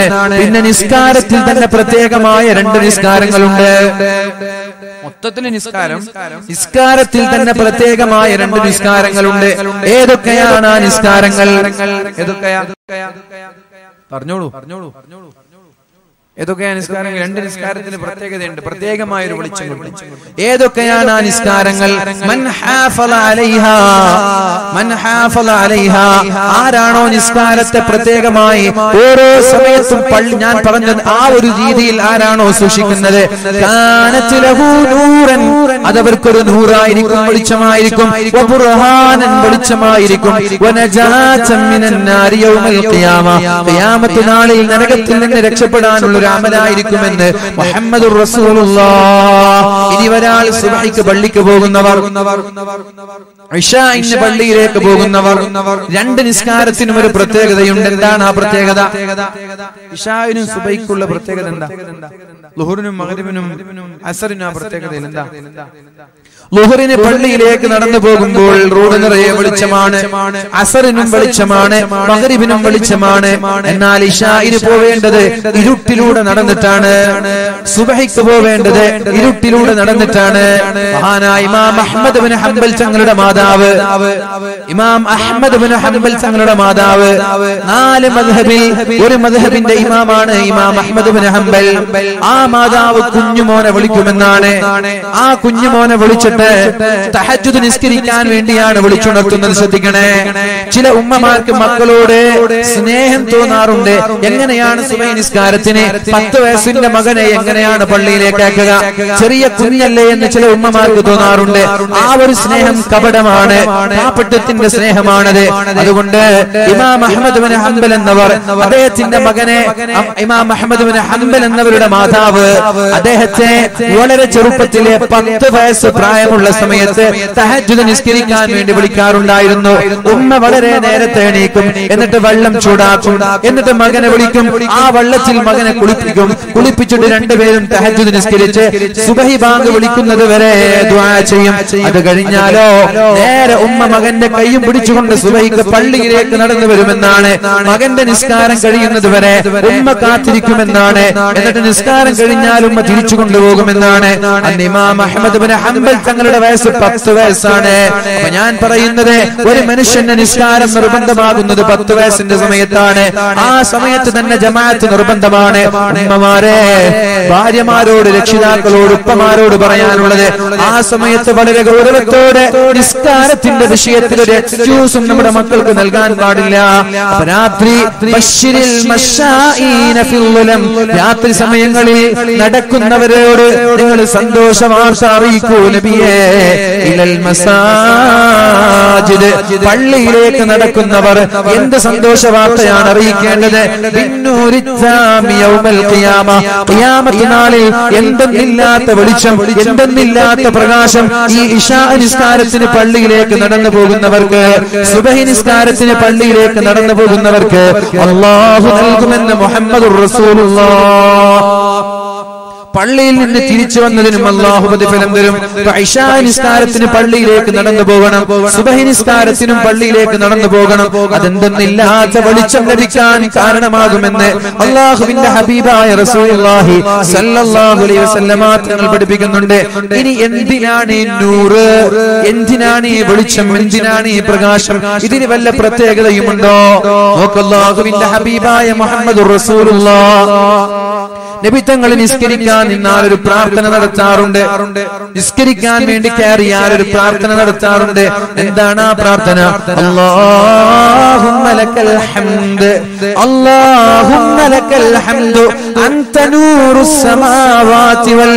അല്ലാഹുവേ സർവസ്തുതിയും നിനക്കാണ് റബ്ബേ. ആകാശങ്ങളുടെ ഭൂമിയുടെ പ്രകാശമാണല്ലോ റബ്ബേ. ആകാശത്തിന്റെയും ഭൂമിയുടെയും വെളിച്ചമായ അള്ളാ നിനക്കാണ് സർവസ്തുതിയുമെന്ന് അള്ളാഹുവിന്റെ ഹബീബ് നിസ്കാര നിസ്കരിക്കാൻ വേണ്ടി നിന്നാൽ പറയാറുണ്ടായിരുന്നു എന്നാണ് അതേപോലെ നബി തങ്ങളുടെ പ്രത്യേകമായ ഒരു ദുആ ഉണ്ട് اللهم اجعل في قلبي نورا وفي بصري نورا وفي سمعي نورا وعن يميني نورا وعن يساري نورا وفوقي نورا وتحتي نورا وأمامي نورا وخلفي نورا وعظم لي نورا നബി തങ്ങളുടെ ദുആയാണ് അള്ളാഹുവേ ഉറക്കെ ദ്വാ ചെയ്യ് എല്ലാരും നിങ്ങളെ തണുപ്പൊക്കെ പോട്ടെ അല്ലാഹുമ്മ ഒരാ ഒരാ اللهم علم لي اللهم اجعل في قلبي نورا നിങ്ങൾ എന്റെ കൂടെ പറയുന്നത് സൗണ്ട് ഉറക്കെ പറയുന്നുണ്ടോ? നിങ്ങൾക്ക് എല്ലാവർക്കും മൈക്ക് വേണം? മൈക്ക് എല്ലാവർക്കും നല്ല ശബ്ദം അതേപോലെ തന്നെ എന്ന് പറഞ്ഞാൽ ഹൃദയമാണ്. എന്റെ ഹൃദയത്തിൽ നീ വെളിച്ചം നൽകണേ അല്ലാ. നബിച്ചങ്ങൾ അങ്ങനെ ചെയ്യണമെങ്കിൽ ഈ നൂറിന് എന്തോ ഒരു പ്രത്യേകതയുണ്ട്. ഹൃദയത്തിന് വെളിച്ചം വരണേ അല്ലാ. പിന്നെ രണ്ടാമത്തേത് എന്റെ കണ്ണിന് നീ വെളിച്ചം നൽകണേ അല്ല. കണ്ണിന് നൂറ് വേണമെന്നാണ്. കണ്ണിന് വെളിച്ചം വേണമെന്നാണ്. എന്റെ ചെവിക്ക് നീ വെളിച്ചം നൽകണേ അല്ല. എന്റെ ചെവിക്ക് നീ വെളിച്ചം നൽകണേ അല്ല. എന്റെ വലതുഭാഗത്ത് നീ വെളിച്ചം നൽകണേ അല്ല. എന്റെ ഇടതുഭാഗത്ത് നീ വെളിച്ചം നൽകണേ അല്ലാ. എന്റെ മുകൾ ഭാഗത്ത് നീ വെളിച്ചം നൽകണേ അല്ലാഹുവെ എന്റെ കാൽ ഭാഗത്ത് നീ വെളിച്ചം നൽകണേ അല്ലാ. വഅമാമി നൂറാ. എന്റെ മുൻഭാഗത്ത് നീ വെളിച്ചം നൽകണേ അല്ലാ. വഖൽഫി നൂറാ. എന്റെ പിൻഭാഗത്തും വെളിച്ചം നൽകണേ അല്ലാ. വഅല്ലിംനി നൂറാ. നൂറ് കൊണ്ട് വെളിച്ചം കൊണ്ട് പ്രകാശം കൊണ്ട് എന്നെ നീ പ്രത്യേകമായി ആവരണം ചെയ്യണേ അല്ലാ. എന്ന് മഹാനായ മുഹമ്മദ് നബി തങ്ങൾ അങ്ങനെ ദുആ ചെയ്യണമെങ്കിൽ ആ ദുആക്ക് എന്തോ പ്രത്യേകത ഉള്ളത് കൊണ്ടല്ലേ? ആ നൂറിന് പ്രത്യേകത ഉള്ളത് കൊണ്ടല്ലേ? കണ്ണിനും ചെവിക്കും നാവിനും ഹൃദയത്തിനും കാലിനും വലതുഭാഗത്തും ഇടതുഭാഗത്തും മുകളിലും താഴെയിലും മുമ്പിലും പിന്നിലൊക്കെ നൂറ് വേണം എന്ന് അള്ളാഹുവിന്റെ ഹബീബ് വെറുതെ ദുആ ചെയ്യോ? അല്ലാഹു തആല ആ ഒരു പ്രകാശം നമ്മൾക്ക് നൽകുമാറാവട്ടെ. മഹാനായ അബ്ദുല്ലാഹിബ്ൻ മസ്ഊദ് റളിയല്ലാഹു അൻഹു. അബ്ദുല്ലാഹിബ്ൻ മസ്ഊദ് റളിയല്ലാഹു അൻഹു ദുആ ചെയ്യാറുണ്ട്. എന്ത് റബ്ബനാ അസ്ലിഹ് ബൈനനാ. അല്ലാഹുവേ ഞങ്ങൾക്കിടയിൽ ഐക്യമുണ്ടാക്കണേ അല്ലാ. ഐക്യം വളരെ പ്രധാനപ്പെട്ട ഘടകമാണ്. ഇന്ന് പല സ്ഥലങ്ങളിലും വാഴ വെക്കുന്നത് പരസ്പരം ഐക്യമില്ലാതെയാണ് എന്ന് പറയാതിരിക്കാൻ വയ്യ. ഐക്യമില്ലാതെയാണ് എന്ന് പറയാതിരിക്കാൻ വയ്യ. ഇന്നൊരു വിഭാഗം വെച്ചാൽ അവരിൽ നിന്ന് മാറി നിന്ന് മറ്റൊരു വിഭാഗം പിറ്റേ ദിവസം വേറൊരു വാഴ വെക്കും. അതുകൊണ്ടാണ് ചില സ്ഥലങ്ങളിൽ പതിവിന് വിപരീതമായി വാലിന്റെ ആളുകൾ കുറഞ്ഞു വരുന്നത് തമാശയല്ല. ഇന്നൊരു പത്ത് ദിവസം നീണ്ടു നിൽക്കുന്ന വാൽ എന്നാൽ ഇതിന് തത്തുല്യമായി കിടപിടിക്കുന്ന വേറൊരു സംഘടന ഇവിടെ ഉണ്ടോ ഇല്ലേ എന്ന് എനിക്കറിയില്ല. ഉണ്ടെങ്കിൽ അവരെ കീഴിൽ വേറൊരു പത്ത് ദിവസം. ആരാണ് എല്ലാ ദിവസവും വേദന വരുന്നത്? ദിവസം ഒരു വർഷത്തിൽ എല്ലാ ദിവസവും വേദന വരാൻ ഒരാൾ കഴിയുമോ? ഇത് കഴിഞ്ഞാൽ അപ്പുറത്തെ നാട്ടിൽ വാൽ അത് കഴിഞ്ഞാൽ അവിടെ വാൽ. കിലോമീറ്ററുകൾക്ക് പകൽ പരിധിയിൽ ഒരേ ദിവസം തന്നെ അഞ്ച് വാലുകൾ വരെ ഈ ചുറ്റുഭാഗത്ത് നടന്നിട്ടുണ്ട്. എനിക്കറിയാം കിലോമീറ്റർ പരിധിയിൽ അഞ്ച് കിലോമീറ്റർ പരിധിയിൽ അഞ്ച് വാൽ നടന്ന സമയം ഇവിടെയുണ്ട്. അപ്പൊ ഈ വാലെന്ന് പറയുന്നത് ഇങ്ങനെ ഓരോ ആളുകൾ വാശിക്ക് വാശിക്ക് വെക്കുകയാണെങ്കിൽ ഒരു സ്ഥലത്തേക്ക് ഞാൻ വേദ പറയാൻ പോയി സ്ഥലം ഞാൻ പറയുന്നില്ല. നമ്മുടെ അതേ സംഘടനയിൽ തന്നെ വിള്ളലാണ്. നമ്മുടെ അതേ സംഘടനയിൽ തന്നെ വിള്ളലാണ്. എന്നിട്ടോ ഒരു വിഭാഗം ആദ്യം വേല വെച്ചു. അടുത്ത വിഭാഗം പിന്നെ വേല വെച്ചു. ആദ്യത്തെ വിഭാഗം വേല വെച്ചപ്പോ ഇവർ പങ്കെടുത്തില്ല. ഇവർ വെച്ചപ്പോൾ അവർ പങ്കെടുത്തില്ല. ഇതാണോ വേൽ? എന്താണ് ഈ വേൽ വെക്കുന്നതിന്റെ ലക്ഷ്യം എന്താണ്? ആർക്ക് വേണ്ടിയാണ് ഈ വേല വെക്കുന്നത്? വേലുകളൊക്കെ ആത്മാർത്ഥമായ നീയത്തോടു കൂടിയാണ് വാലുകൾ സംഘടിപ്പിക്കേണ്ടത്? ജനങ്ങൾക്കിടയിൽ എന്തെങ്കിലും ഒരു നന്മ പറയുന്നവർക്കും മാറ്റം വേണം കേൾക്കുന്നവർക്കും മാറ്റം വേണം. അള്ളാഹു നമ്മെ നല്ലവരിൽ ഉൾപ്പെടുത്തട്ടെ. അള്ളാഹു നമ്മെ നന്നാക്കി തരട്ടെ. അള്ളാഹുവേ ഞങ്ങൾക്കിടയിൽ നീ ഐക്യമുണ്ടാക്കണേ ഇസ്ലാം. അള്ളാഹുവേ നല്ലൊരു മുസ്ലിമാക്കണേ റബ്ബേ. അള്ളാഹുവേ ഇരുട്ടിൽ നിന്ന് വെളിച്ചത്തിലേക്ക് എന്നെ നീ നയിക്കണേ എന്ന് മഹാനായ അബ്ദുല്ലാഹിബ്നു മസ്ഊദ് റളിയല്ലാഹു അൻഹു നിരന്തരമായി ദുആ ചെയ്യാറുണ്ടായിരുന്നു. അല്ലാഹുവേ നിന്റെ മഹാന്മാർ ചോദിച്ച ആ ഒരു പ്രകാശം ഞങ്ങൾക്ക് നീ നൽകണേ അല്ലാഹ് അള്ളാഹുവേ ആ ഒരു വെളിച്ചം നീ ഞങ്ങൾക്ക് നൽകണേ അല്ലാ. വെളിച്ചം കിട്ടുന്ന മറ്റുള്ള പ്രത്യേകത ഇന്നലിൽ ഇന്നലിൽ ഫിൽ ഖൽബി. ഓരോ നന്മ ചെയ്യുന്നതിനനുസരിച്ച് ഓരോ മനുഷ്യന്റെ ഹൃദയങ്ങളിൽ വെളിച്ചമുണ്ടാകുമെന്നാണ് വജ്ഹി മുഖത്തെന്തെന്നില്ലാത്ത ശ്രദ്ധിക്കണേ മുഖത്തെന്തെന്നില്ലാത്ത പ്രകാശമുണ്ടാകുമെന്നാണ്. തഹജ്ജിൽ നിസ്കരിക്കുന്നവരുടെ മുഖത്തിൽ എന്തെന്നില്ലാത്ത വെളിച്ചമുണ്ടാകും. അതിന് ഫായിസ പോയിട്ട് ഫായിസ. ഫായിസ ഇട്ടിട്ട് പാപം കുറച്ച് കഴിയുമ്പോൾ മുഖത്ത് കുരും വരും. ഇത് പിന്നെ കണ്ടിന്യൂ ക്യാമത്ത് നാളോളം ആർക്കെങ്കിലും തുടരാൻ കഴിയോ? നിങ്ങൾക്ക് മനസ്സിലായോ? വായിച്ചാന്ന് പറഞ്ഞാൽ മനസ്സിലായോ? അറിയാത്തത് പോലൊന്നും ഇരിക്കണ്ട നിങ്ങൾ ആർക്കും അത് അറിയാത്തത് വെളുക്കുമെന്നുള്ള കാര്യം സത്യം തന്നെയാണ് പക്ഷെ വെളുത്ത ആളുകൾ ഇത് ക്യാമത്ത് നാളോളം തുടരാൻ പറ്റുമോ മുഖം വെള്ള കുരു. ഉടക്ക കുരു. പിന്നെ അത് നിർത്തിയാ മുമ്പത്തേതിനേക്കാളും ഒത്തുപോകും അപ്പൊ ഈ ഫായിസ് ഒന്നും വേണ്ട നിങ്ങൾക്ക് വെളുക്കാൻ ഞാനൊരു വഴി പറഞ്ഞു ഫായിസിനേക്കാളും പൈസക്ക് ചെലവില്ല പൈസ ആയിരം രൂപ ഇനി ചെലവില്ല. മുഖം വെളുക്കാനും മുഖം പ്രകാശിപ്പിക്കാനുള്ള വഴിയാണ് നിസ്കരിക്കുക എന്നുള്ളത്. മഹാനായ ഹസൻ റലിയല്ലാഹുവിനോട് ചോദിച്ചു ഈ തഹജ്ജുദ് നിസ്കരിക്കുന്നവരുടെ മുഖത്ത് വെളിച്ചമുണ്ടാവാൻ പ്രകാശമുണ്ടാവാനുള്ള കാരണം എന്ത് എന്ന് ചോദിച്ചു. അപ്പോൾ അദ്ദേഹം പറഞ്ഞ മറുപടി തഹജ്ജുദ് എന്നുള്ളത് അല്ലാഹുവിന്റെ നൂറിന്റെ ഒരു ഭാഗമാണ്. തഹജ്ജുദ് എന്ന് പറയുന്നത് അല്ലാഹു നൂറാണ്. അല്ലാഹു നൂറു സമാവാതി. ആകാശഭൂമികളുടെ നൂറാണ് പ്രകാശമാണ് അല്ലാഹു. ആ പ്രകാശത്തിന്റെ ഒരു അംശമാണ് തഹജ്ജുദ്. അപ്പൊ തഹജ്ജുദ് നിസ്കരിക്കുന്ന ആളുകൾക്ക് അള്ളാഹുവിന്റെ നൂറിൽ നിന്നൊരു നൂറ് കിട്ടുകയാണ് അതാണ് അവരുടെ മുഖത്ത് എന്തെന്നില്ലാത്ത വെളിച്ചമുണ്ടാകുന്നത് എന്ന് മഹാനായ ഹസൻ റളിയല്ലാഹു എന്ന് പറയുന്നുണ്ട്. അതുകൊണ്ട് ഇന്നലിൽ ഹസനത്തി നൂറാ. നമ്മുടെ നന്മകൾക്ക് നൂറുണ്ട്. വലിയാ ഫിൽ വജ്ഹി. നന്മ ചെയ്യുന്നതിനനുസരിച്ച് മുഖത്തിന്റെ ഒരു പ്രകാശം ഉണ്ടാകുമെന്നാണ്. അള്ളാഹുവേ നീ ഞങ്ങൾക്ക് ആ ഒരു പ്രകാശം നൽകണേ അല്ലാ അതുപോലെ തന്നെ പ്രകാശം ലഭിക്കാനുള്ള മറ്റൊരു അമൽ. ഇന്നൽ മുഖ്സിത്വീന ഇൻദല്ലാഹി അലാ മനാബിറ മിൻ നൂർ നീതിമാന്മാരായാൽ ഭരണാധികാരികൾ നീതിമാന്മാരാവണം. വീട്ടിലുള്ള മാതാപിതാക്കൾ നീതിമാന്മാരാവണം. മക്കളോട് നീതിയോട് പെരുമാറണം. പെണ്ണ് ഒന്നിൽ കൂടുതൽ കെട്ടിയാൽ നീതിയോട് പെരുമാറണം. പള്ളി കമ്മിറ്റി ഭാരവാഹികൾ നീതിയോട് പെരുമാറണം. സംഘടനാ നേതാക്കൾ നീതിയോട് പെരുമാറണം. നിയമപാലകർ നീതിയോട് പെരുമാറണം. മന്ത്രിമാർ നീതിയോട് പെരുമാറണം. രാഷ്ട്രീയ നേതാക്കൾ നീതിയോട് പെരുമാറണം. എല്ലാവരും നീതിയോടെ പെരുമാറിയാൽ അള്ളാഹു താല അവർക്ക് നൽകാൻ പോകുന്നത് നല്ല മനോഹരമായ വെളിച്ചമുള്ള മെമ്പറായിരിക്കുമെന്ന് മുഹമ്മദ് നീതിമാന്മാരായ ആളുകൾക്ക് നല്ല വെളിച്ചമുള്ള പ്രകാശമുള്ള മെമ്പറുകൾ നൽകുമെന്നാണ്. അതേപോലെ തന്നെ പ്രകാശം ലഭിക്കുന്ന മറ്റൊരു അമലാണ് പരസ്പരം സ്നേഹിക്കുക എന്നുള്ളത്. ആണ് പെണ്ണിനെ സ്നേഹിക്കലല്ല പ്രേമത്തിന്റെ കഥകളല്ല ഈ പറയുന്നത്. പ്രേമത്തിന്റെ കഥ ഒന്നുമല്ല സ്കൂളിൽ പോയാൽ ആര് ആരോട് മിണ്ടണം? ആര് ആരോട് മിണ്ടാൻ പാടില്ല എന്ന് തീരുമാനിക്കുന്നത് സ്കൂളിലുള്ള സീനിയർ വിദ്യാർത്ഥികളായ കാലമാണിത്. ഇൻസൈഡ് ധരിക്കാൻ ഇൻസൈഡ് ചെയ്യാൻ പാടുണ്ടോ? അഴിക്കാൻ പറയുന്നത് സീനിയർ വിദ്യാർത്ഥികൾ ഷൂ ധരിക്കരുത് എന്ന് പറയുന്നത് സീനിയർ വിദ്യാർത്ഥികൾ മീശ പഠിക്കണമെന്ന് പറയുന്നത് സീനിയർ വിദ്യാർത്ഥികൾ. എന്താ സീനിയർ വിദ്യാർത്ഥികൾക്ക് കോളേജ് ആരെങ്കിലും എഴുതി കൊടുത്തിട്ടുണ്ടോ?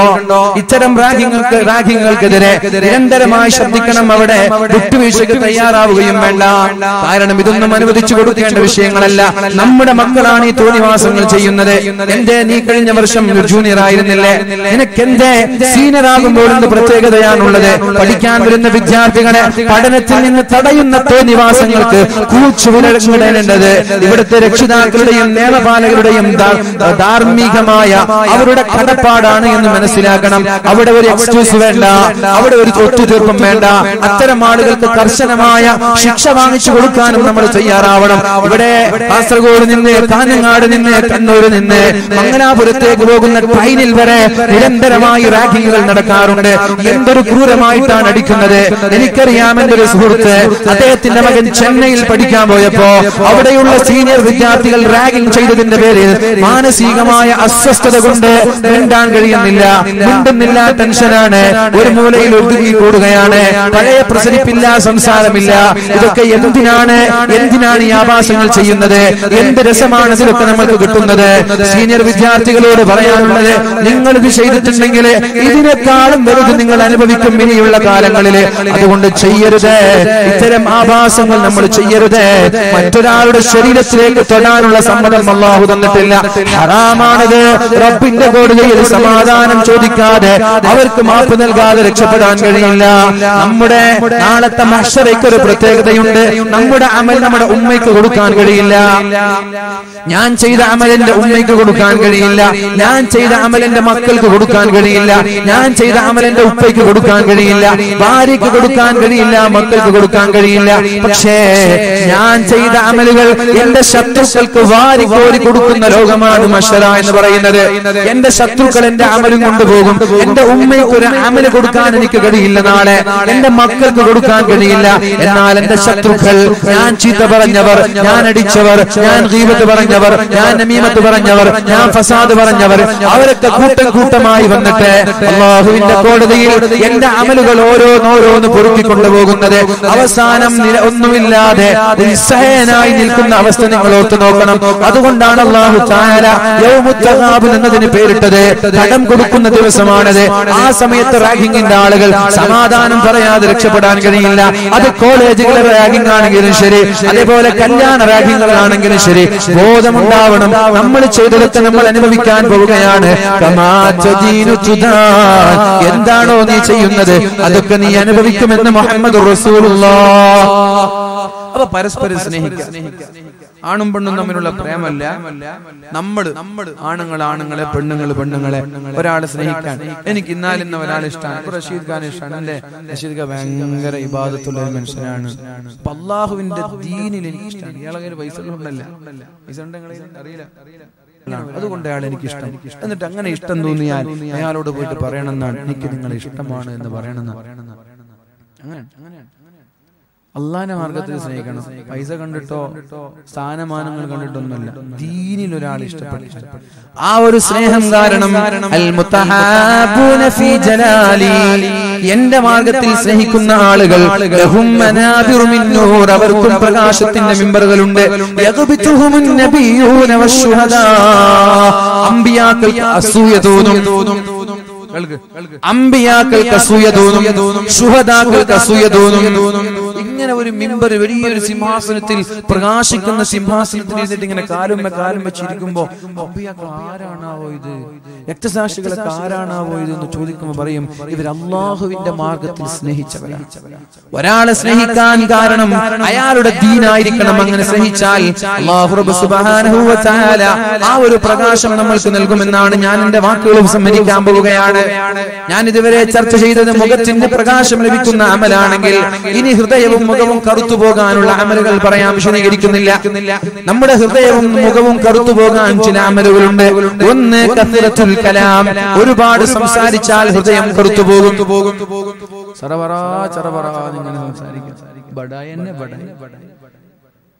എങ്ങനെങ്കിലും നിർത്തിയിട്ട് എണീറ്റ് പോവാൻ. അങ്ങനെ ചില ആളുകൾ നിർത്തൂല. ബടായ വിടാൻ തുടങ്ങിയാൽ നിർത്തൂല നിർത്തൂല. തെറ്റുന്നുണ്ടാവും ചിലപ്പോൾ ഗീപത്തും നമീമത്തൊന്നും ആയിരിക്കൂല. നല്ല വർത്തമാനം ഇങ്ങനെ തമാശകളായിരിക്കും. ഹലാലായ വിഷയങ്ങളായിരിക്കും. അതുപോലും വേണ്ട. കലാം ഒരുപാട് സംസാരം നല്ലതല്ല. കഴിവിന്റെ പരമാവധി സംസാരം നിയന്ത്രിക്കണം. രണ്ട്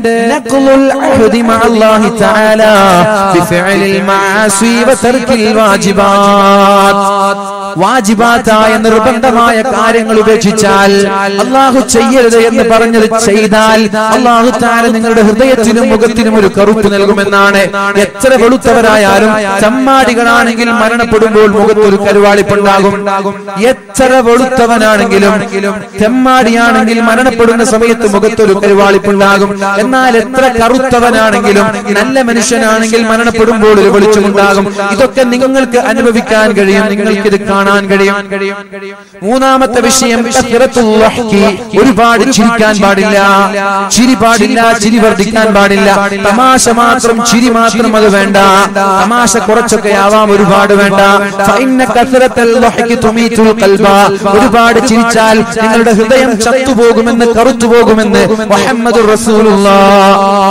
ഹസനുൽ ബസരി തങ്ങൾ ഒരു ചെറുപ്പക്കാരന്റെ സമീപത്തുകൂടെ നടന്നു പോവുകയാണ് അദ്ദേഹം ഇങ്ങനെ ചിരിക്കുകയാണ് വിറ്റക്കടിക്കുമ്പോ കസേര കടിച്ചു ചിരിക്കും ചില ആളുകൾ. വിറ്റൊക്കെ അടിച്ചാൽ അപ്പുറത്തുള്ള ആളുടെ പുറം പൊളിക്കും. അടിച്ചിട്ട് വിറ്റാണ്. വിറ്റിൽ ചിരിച്ചാണ് പാവത്തിൽ ചിരിച്ചടിക്കാൻ കഴിയും? ചുടിയൊക്കെ ഉണ്ടെങ്കിൽ അങ്ങനെ തീർത്താൽ മതി. നല്ല വിറ്റടിക്കുമ്പോ നല്ല അടി കൊടുത്ത. അപ്പൊ മഹാനായ ഹസനുൽ ബസരി തങ്ങൾ ഒരു ചെറുപ്പക്കാരന്റെ സമീപത്തുകൂടെ നടക്കുകയാണ്. അദ്ദേഹം ഇങ്ങനെ ചിരിച്ചുകൊണ്ടിരിക്കുകയാണ്. കുറച്ചാളുകളുള്ള ഒരു സദസ്സാണത്. അദ്ദേഹം ചോദിച്ചു അല്ലയോ ചെറുപ്പക്കാരാ? സിറാത്ത് പാലത്തിലൂടെ നീ കടന്നു പോയിട്ടുണ്ടോ ചെറുപ്പക്കാരൻ പറഞ്ഞില്ല. ഇല്ല ഞാൻ കടന്നു പോയിട്ടില്ല. നീ നരകക്കാരനാണോ സ്വർഗക്കാരനാണോ എന്ന് നിനക്കറിയുമോ? അദ്ദേഹം പറഞ്ഞില്ല എനിക്കറിയൂല. പിന്നെ എന്തിനാണോ നീ ചിരിക്കുന്നത്? സ്വർഗത്തിലാണെന്ന് അറിഞ്ഞവർ വരെ ഇവിടെ ചിരിച്ചിട്ടില്ല. മഹാനായ ഉമർ ബിൻ ഖത്താബ് തങ്ങൾക്ക് സ്വർഗത്തിന്റെ സന്തോഷമാർത്ത അറിയിച്ചിട്ടുണ്ട്. പക്ഷേ അദ്ദേഹം ചിരിച്ചിട്ടില്ല. കരഞ്ഞിട്ടേ ഉള്ളൂ ജീവിതത്തിൽ. മഹതിയായ ഫാത്തിമ ബിവിക്ക് സന്തോഷ വാർത്ത അറിയിച്ചിട്ടുണ്ട്.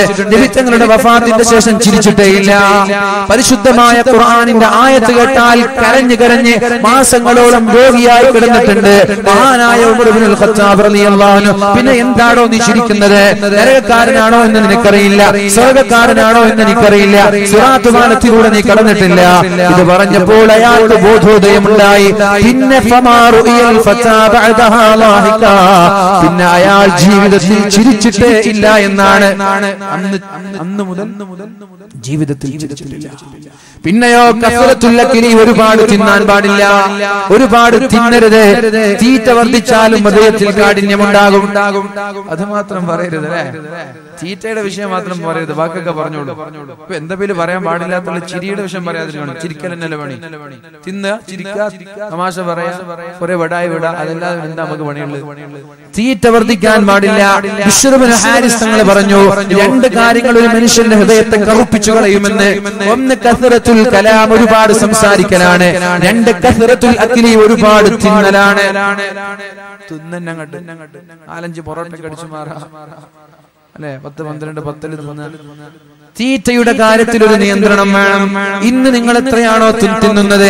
അതിന്റെ പകുതിയാവണം നാളെ മുതൽ തിന്നേണ്ടത്. ഒരു പത്ത് പത്തലൊക്കെ രാവിലെ നാസ്തയ്ക്ക് അവരുണ്ടാവും അവിടെ. അല്ലേ? പത്ത് പത്തലൊക്കെ തിന്നുന്ന ആൾ ഇഷ്ടം പോലെ ഉണ്ടാവും. അപ്പൊ അവരെന്ത് ചെയ്യാം? നാളെ മുതൽ അഞ്ച് പത്തൽ. അഞ്ച് പത്ത് അഞ്ച് പത്ത് മൂന്ന് നാല് പൊറോട്ടൊക്കെ തിന്നുന്ന ആൾ രണ്ടാക്കി ചുരുക്കുക. രണ്ട് തിന്നവർ ഒന്നാക്കി ചുരുക്കുക. നമ്മളിപ്പോൾ എത്രയാണോ തിന്നുന്നത്?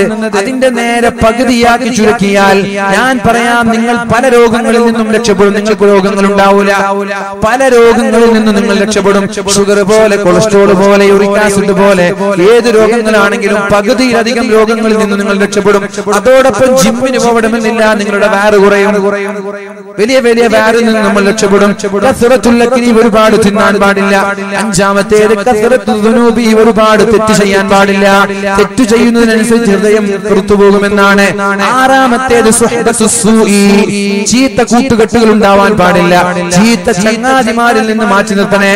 ഈ സമയത്ത് ഇവിടെ ഇരിക്കുന്ന ആണുങ്ങളോട് അവിടെ ഇരിക്കുന്ന സ്ത്രീകളോട് എനിക്ക് പറയാനുള്ളത് നിങ്ങൾ നിങ്ങളുടെ നിങ്ങളുടെ ചങ്ങാതിമാരെ കുറിച്ച് ഒരു മിനിറ്റ് ഒന്ന് ആലോചിക്കുക നിങ്ങളുടെ ചങ്ങായിമാരെ ആലോചിച്ച് നിങ്ങൾക്കൊക്കെ ഉണ്ടാവും ചങ്ങായിമാർ. ഒന്ന് ആലോചിക്കും നിങ്ങളുടെ ബെസ്റ്റ് ഫ്രണ്ട് രണ്ട് മൂന്ന് ചങ്ങായിമാരുടെ മനസ്സിൽ ഇങ്ങനെ ആലോചിക്കും അടുത്ത ചങ്ങാതിമാർ ആലോചിച്ചോ? പെണ്ണുങ്ങളും ആണുങ്ങളെല്ലാം ആലോചിക്കും സ്കൂളും മദ്രസയും ഗൾഫും ഒക്കെ ആലോചിക്കും. ഏറ്റവും ബെസ്റ്റ് മൂന്ന് ചങ്ങായിമാർ കിട്ടിയിട്ടുണ്ടാവൂലേ? കിട്ടിയില്ലേ? കിട്ടിയില്ലേ? മൂന്ന് ചങ്ങന്മാർ കിട്ടിയില്ലേ? തടിയുള്ള ചങ്ങന്മാരാണ് പെട്ടെന്ന് കിട്ടാതിരിക്കുന്നത് ഓക്കെ. ഓക്കെ. ഇനി ഞാൻ ചോദിക്കട്ടെ ആ ചങ്ങാതിമാർക്കുള്ള നല്ല വിശേഷണങ്ങൾ എന്തൊക്കെയാണ്? ആ ചങ്ങാതിമാർ തിയേറ്ററിൽ പോകുന്നവരാണോ? ആ ചങ്ങാതിമാർ പ്രണയത്തിൽപ്പെട്ടവരാണോ? ആ ചങ്ങാതിമാർ കഞ്ചാവിന്റെ ആളുകളാണോ? ആ ചങ്ങാതിമാര് ഹറാം ചെയ്യുന്നവരാണോ? വ്യഭിചാരത്തിന്റെ ആളുകളാണോ? എങ്കിൽ ഇന്നത്തോടുകൂടി സലാം പറഞ്ഞേ സലാം അലൈക്കും. അല്ല നിങ്ങളുടെ ചങ്ങാതിമാർ നിസ്കാരത്തിന് കൃത്യമായി വരുന്നവരാണ് ഖുർആൻ ഓതുന്നവരാണ് നിങ്ങളോട് നന്മ പറഞ്ഞു തരുന്നവരാണ് നിങ്ങളെ തിന്മയിൽ നിന്ന് മാറ്റി നിർത്തുന്നവരാണ്. എങ്കിൽ ആ ചങ്ങാതിമാരോട് പറഞ്ഞേക്ക് ഇന്നി ഫില്ലാ അള്ളാഹുവിന്റെ മാർഗത്തിൽ ഞാൻ നിന്നെ സ്നേഹിക്കുന്നു എന്ന്. എന്നാൽ അള്ളാഹു തആല മനോഹരമായ പ്രകാശത്തിന്റെ സിംഹാസനങ്ങൾ നാളെ ഒരുക്കി തരുമെന്ന് മുഹമ്മദ് അപ്പൊ ഞാൻ പറയാൻ ചങ്ങാതിമാരാണ് ഓരോ മനുഷ്യനെയും മോശമാക്കുന്നത്. തിയേറ്ററിൽ പോകാൻ തുടങ്ങുന്നത് വീട്ടിൽ നിന്നല്ല. ഉപ്പയും ഉമ്മയും മക്കളെല്ലാം തിയേറ്ററിലേക്ക് കൊണ്ടുപോകുന്നത്? ഉപ്പയും ഉമ്മയും മക്കളും കൊണ്ടിട്ട് തിയേറ്ററിൽ പോകും. കാസർഗോഡ് തിയേറ്ററിൽ പോയാലും ഓർമ്മ ഉണ്ടാവും. തിരിച്ചു വരൂല അവർ? പെണ്ണുങ്ങളെങ്ങാനും കാസർഗോഡ് ഭാഗത്ത് തിയേറ്ററിൽ പോയാൽ എന്നാൽ കോഴിക്കോട് ആ ഭാഗത്തൊക്കെ നിരന്തരമായിട്ട് പർദ്ദ ധരിച്ച പെണ്ണുങ്ങൾ തിയേറ്ററിൽ പോകും. ഇവിടെ ഏതെങ്കിലും ഒരു തിയേറ്ററിൽ പോയാൽ അപ്പൊ കല്ലറിയും നമ്മുടെ ഈമാന്റെ ഭാഗമാണെന്ന് തോന്നുന്നു കാസർഗോഡ് ഇവിടെ ഒരു വീട്ടിൽ നിന്ന് ഉമ്മയും ഉപ്പയും തിയേറ്ററിലേക്ക് കൊണ്ടുപോകൂല പിന്നെ ആരാണ് തിയേറ്ററിലേക്ക് കൊണ്ടുപോകുന്നത്? ചങ്ങാതിമാരാണ്. ചങ്ങാതിമാരെ കൊണ്ടുപോവാ. സ്കൂളിൽ നിന്നോ ഫാമിലിയിൽ നിന്നോ മദ്രസയിൽ നിന്നുള്ള ചങ്ങാതിമാരെ തിയേറ്ററിൽ കൊണ്ടുപോവാ. കഞ്ചാവ് പഠിപ്പിക്കുന്നത് വീട്ടിൽ നിന്നല്ല ചങ്ങാതിമാരാണത്. വ്യഭിചരിക്കാൻ പഠിപ്പിക്കുന്നത് തിയേറ്ററല്ല ചങ്ങാതിമാരാണ് വീട്ടല്ല ചങ്ങാതിമാരാണ്. അങ്ങനെ ഏത് ചിന്മകളിൽ നമ്മൾ പെടുന്നുണ്ടെങ്കിലും അതിന്റെ പ്രധാനപ്പെട്ട കാരണക്കാര് ചങ്ങാതിമാരാണ്. അതുകൊണ്ട് രക്ഷിതാക്കൾ നന്നാക്കാൻ നോക്കേണ്ടത് നിങ്ങളുടെ മക്കളെയാണ്. ആ സമയത്ത് എങ്ങനെ നന്നാക്കണമെന്ന് വിചാരിക്കുമ്പോൾ എങ്ങനെ നന്നാക്കണമെന്ന് നിങ്ങൾ ആഗ്രഹിക്കുമ്പോൾ ഇങ്ങനെ ചിന്തിക്കുകയാണെങ്കിൽ ഞാൻ പറയാം നിങ്ങളുടെ മക്കളുടെ ചങ്ങാതിമാരെ കുറിച്ച് ഒരു പഠനം നടത്തിയിട്ട് ചീത്ത കൂട്ടുകെട്ടിൽ നിന്ന് മക്കളെ മാറ്റി നിർത്തുക എന്നുള്ളതാണ് നന്നാവാനുള്ള ഏറ്റവും എളുപ്പവഴി തആല നമ്മെ നന്നാക്കി തരട്ടെ. എന്റെ വാക്കുകൾ ഞാൻ ഉപസംഹരിക്കുകയാണ് അപ്പൊ ഇതുവരെ നമ്മൾ ചർച്ച ചെയ്തത് മുഖം പ്രകാശിക്കുന്ന ഒരു വിഭാഗം ഹൃദയം പ്രകാശിപ്പിക്കുന്ന ഒരു വിഭാഗം. അതേപോലെ മുഖവും ഹൃദയവും ശരീരവും കറുത്തു പോകുന്ന ഒരു വിഭാഗം. നാളെ ആഖിറത്തിൽ മുഖവും ശരീരവും വെളിച്ചമുള്ള ആളുകളായി അള്ളാഹു നമ്മെ സ്വീകരിക്കട്ടെ. നാളെ കബറിൽ പോയാൽ കബറിടം വെളിച്ചമുള്ള കബറിടമാക്കി അള്ളാഹു നമ്മെ ഏറ്റെടുക്കട്ടെ.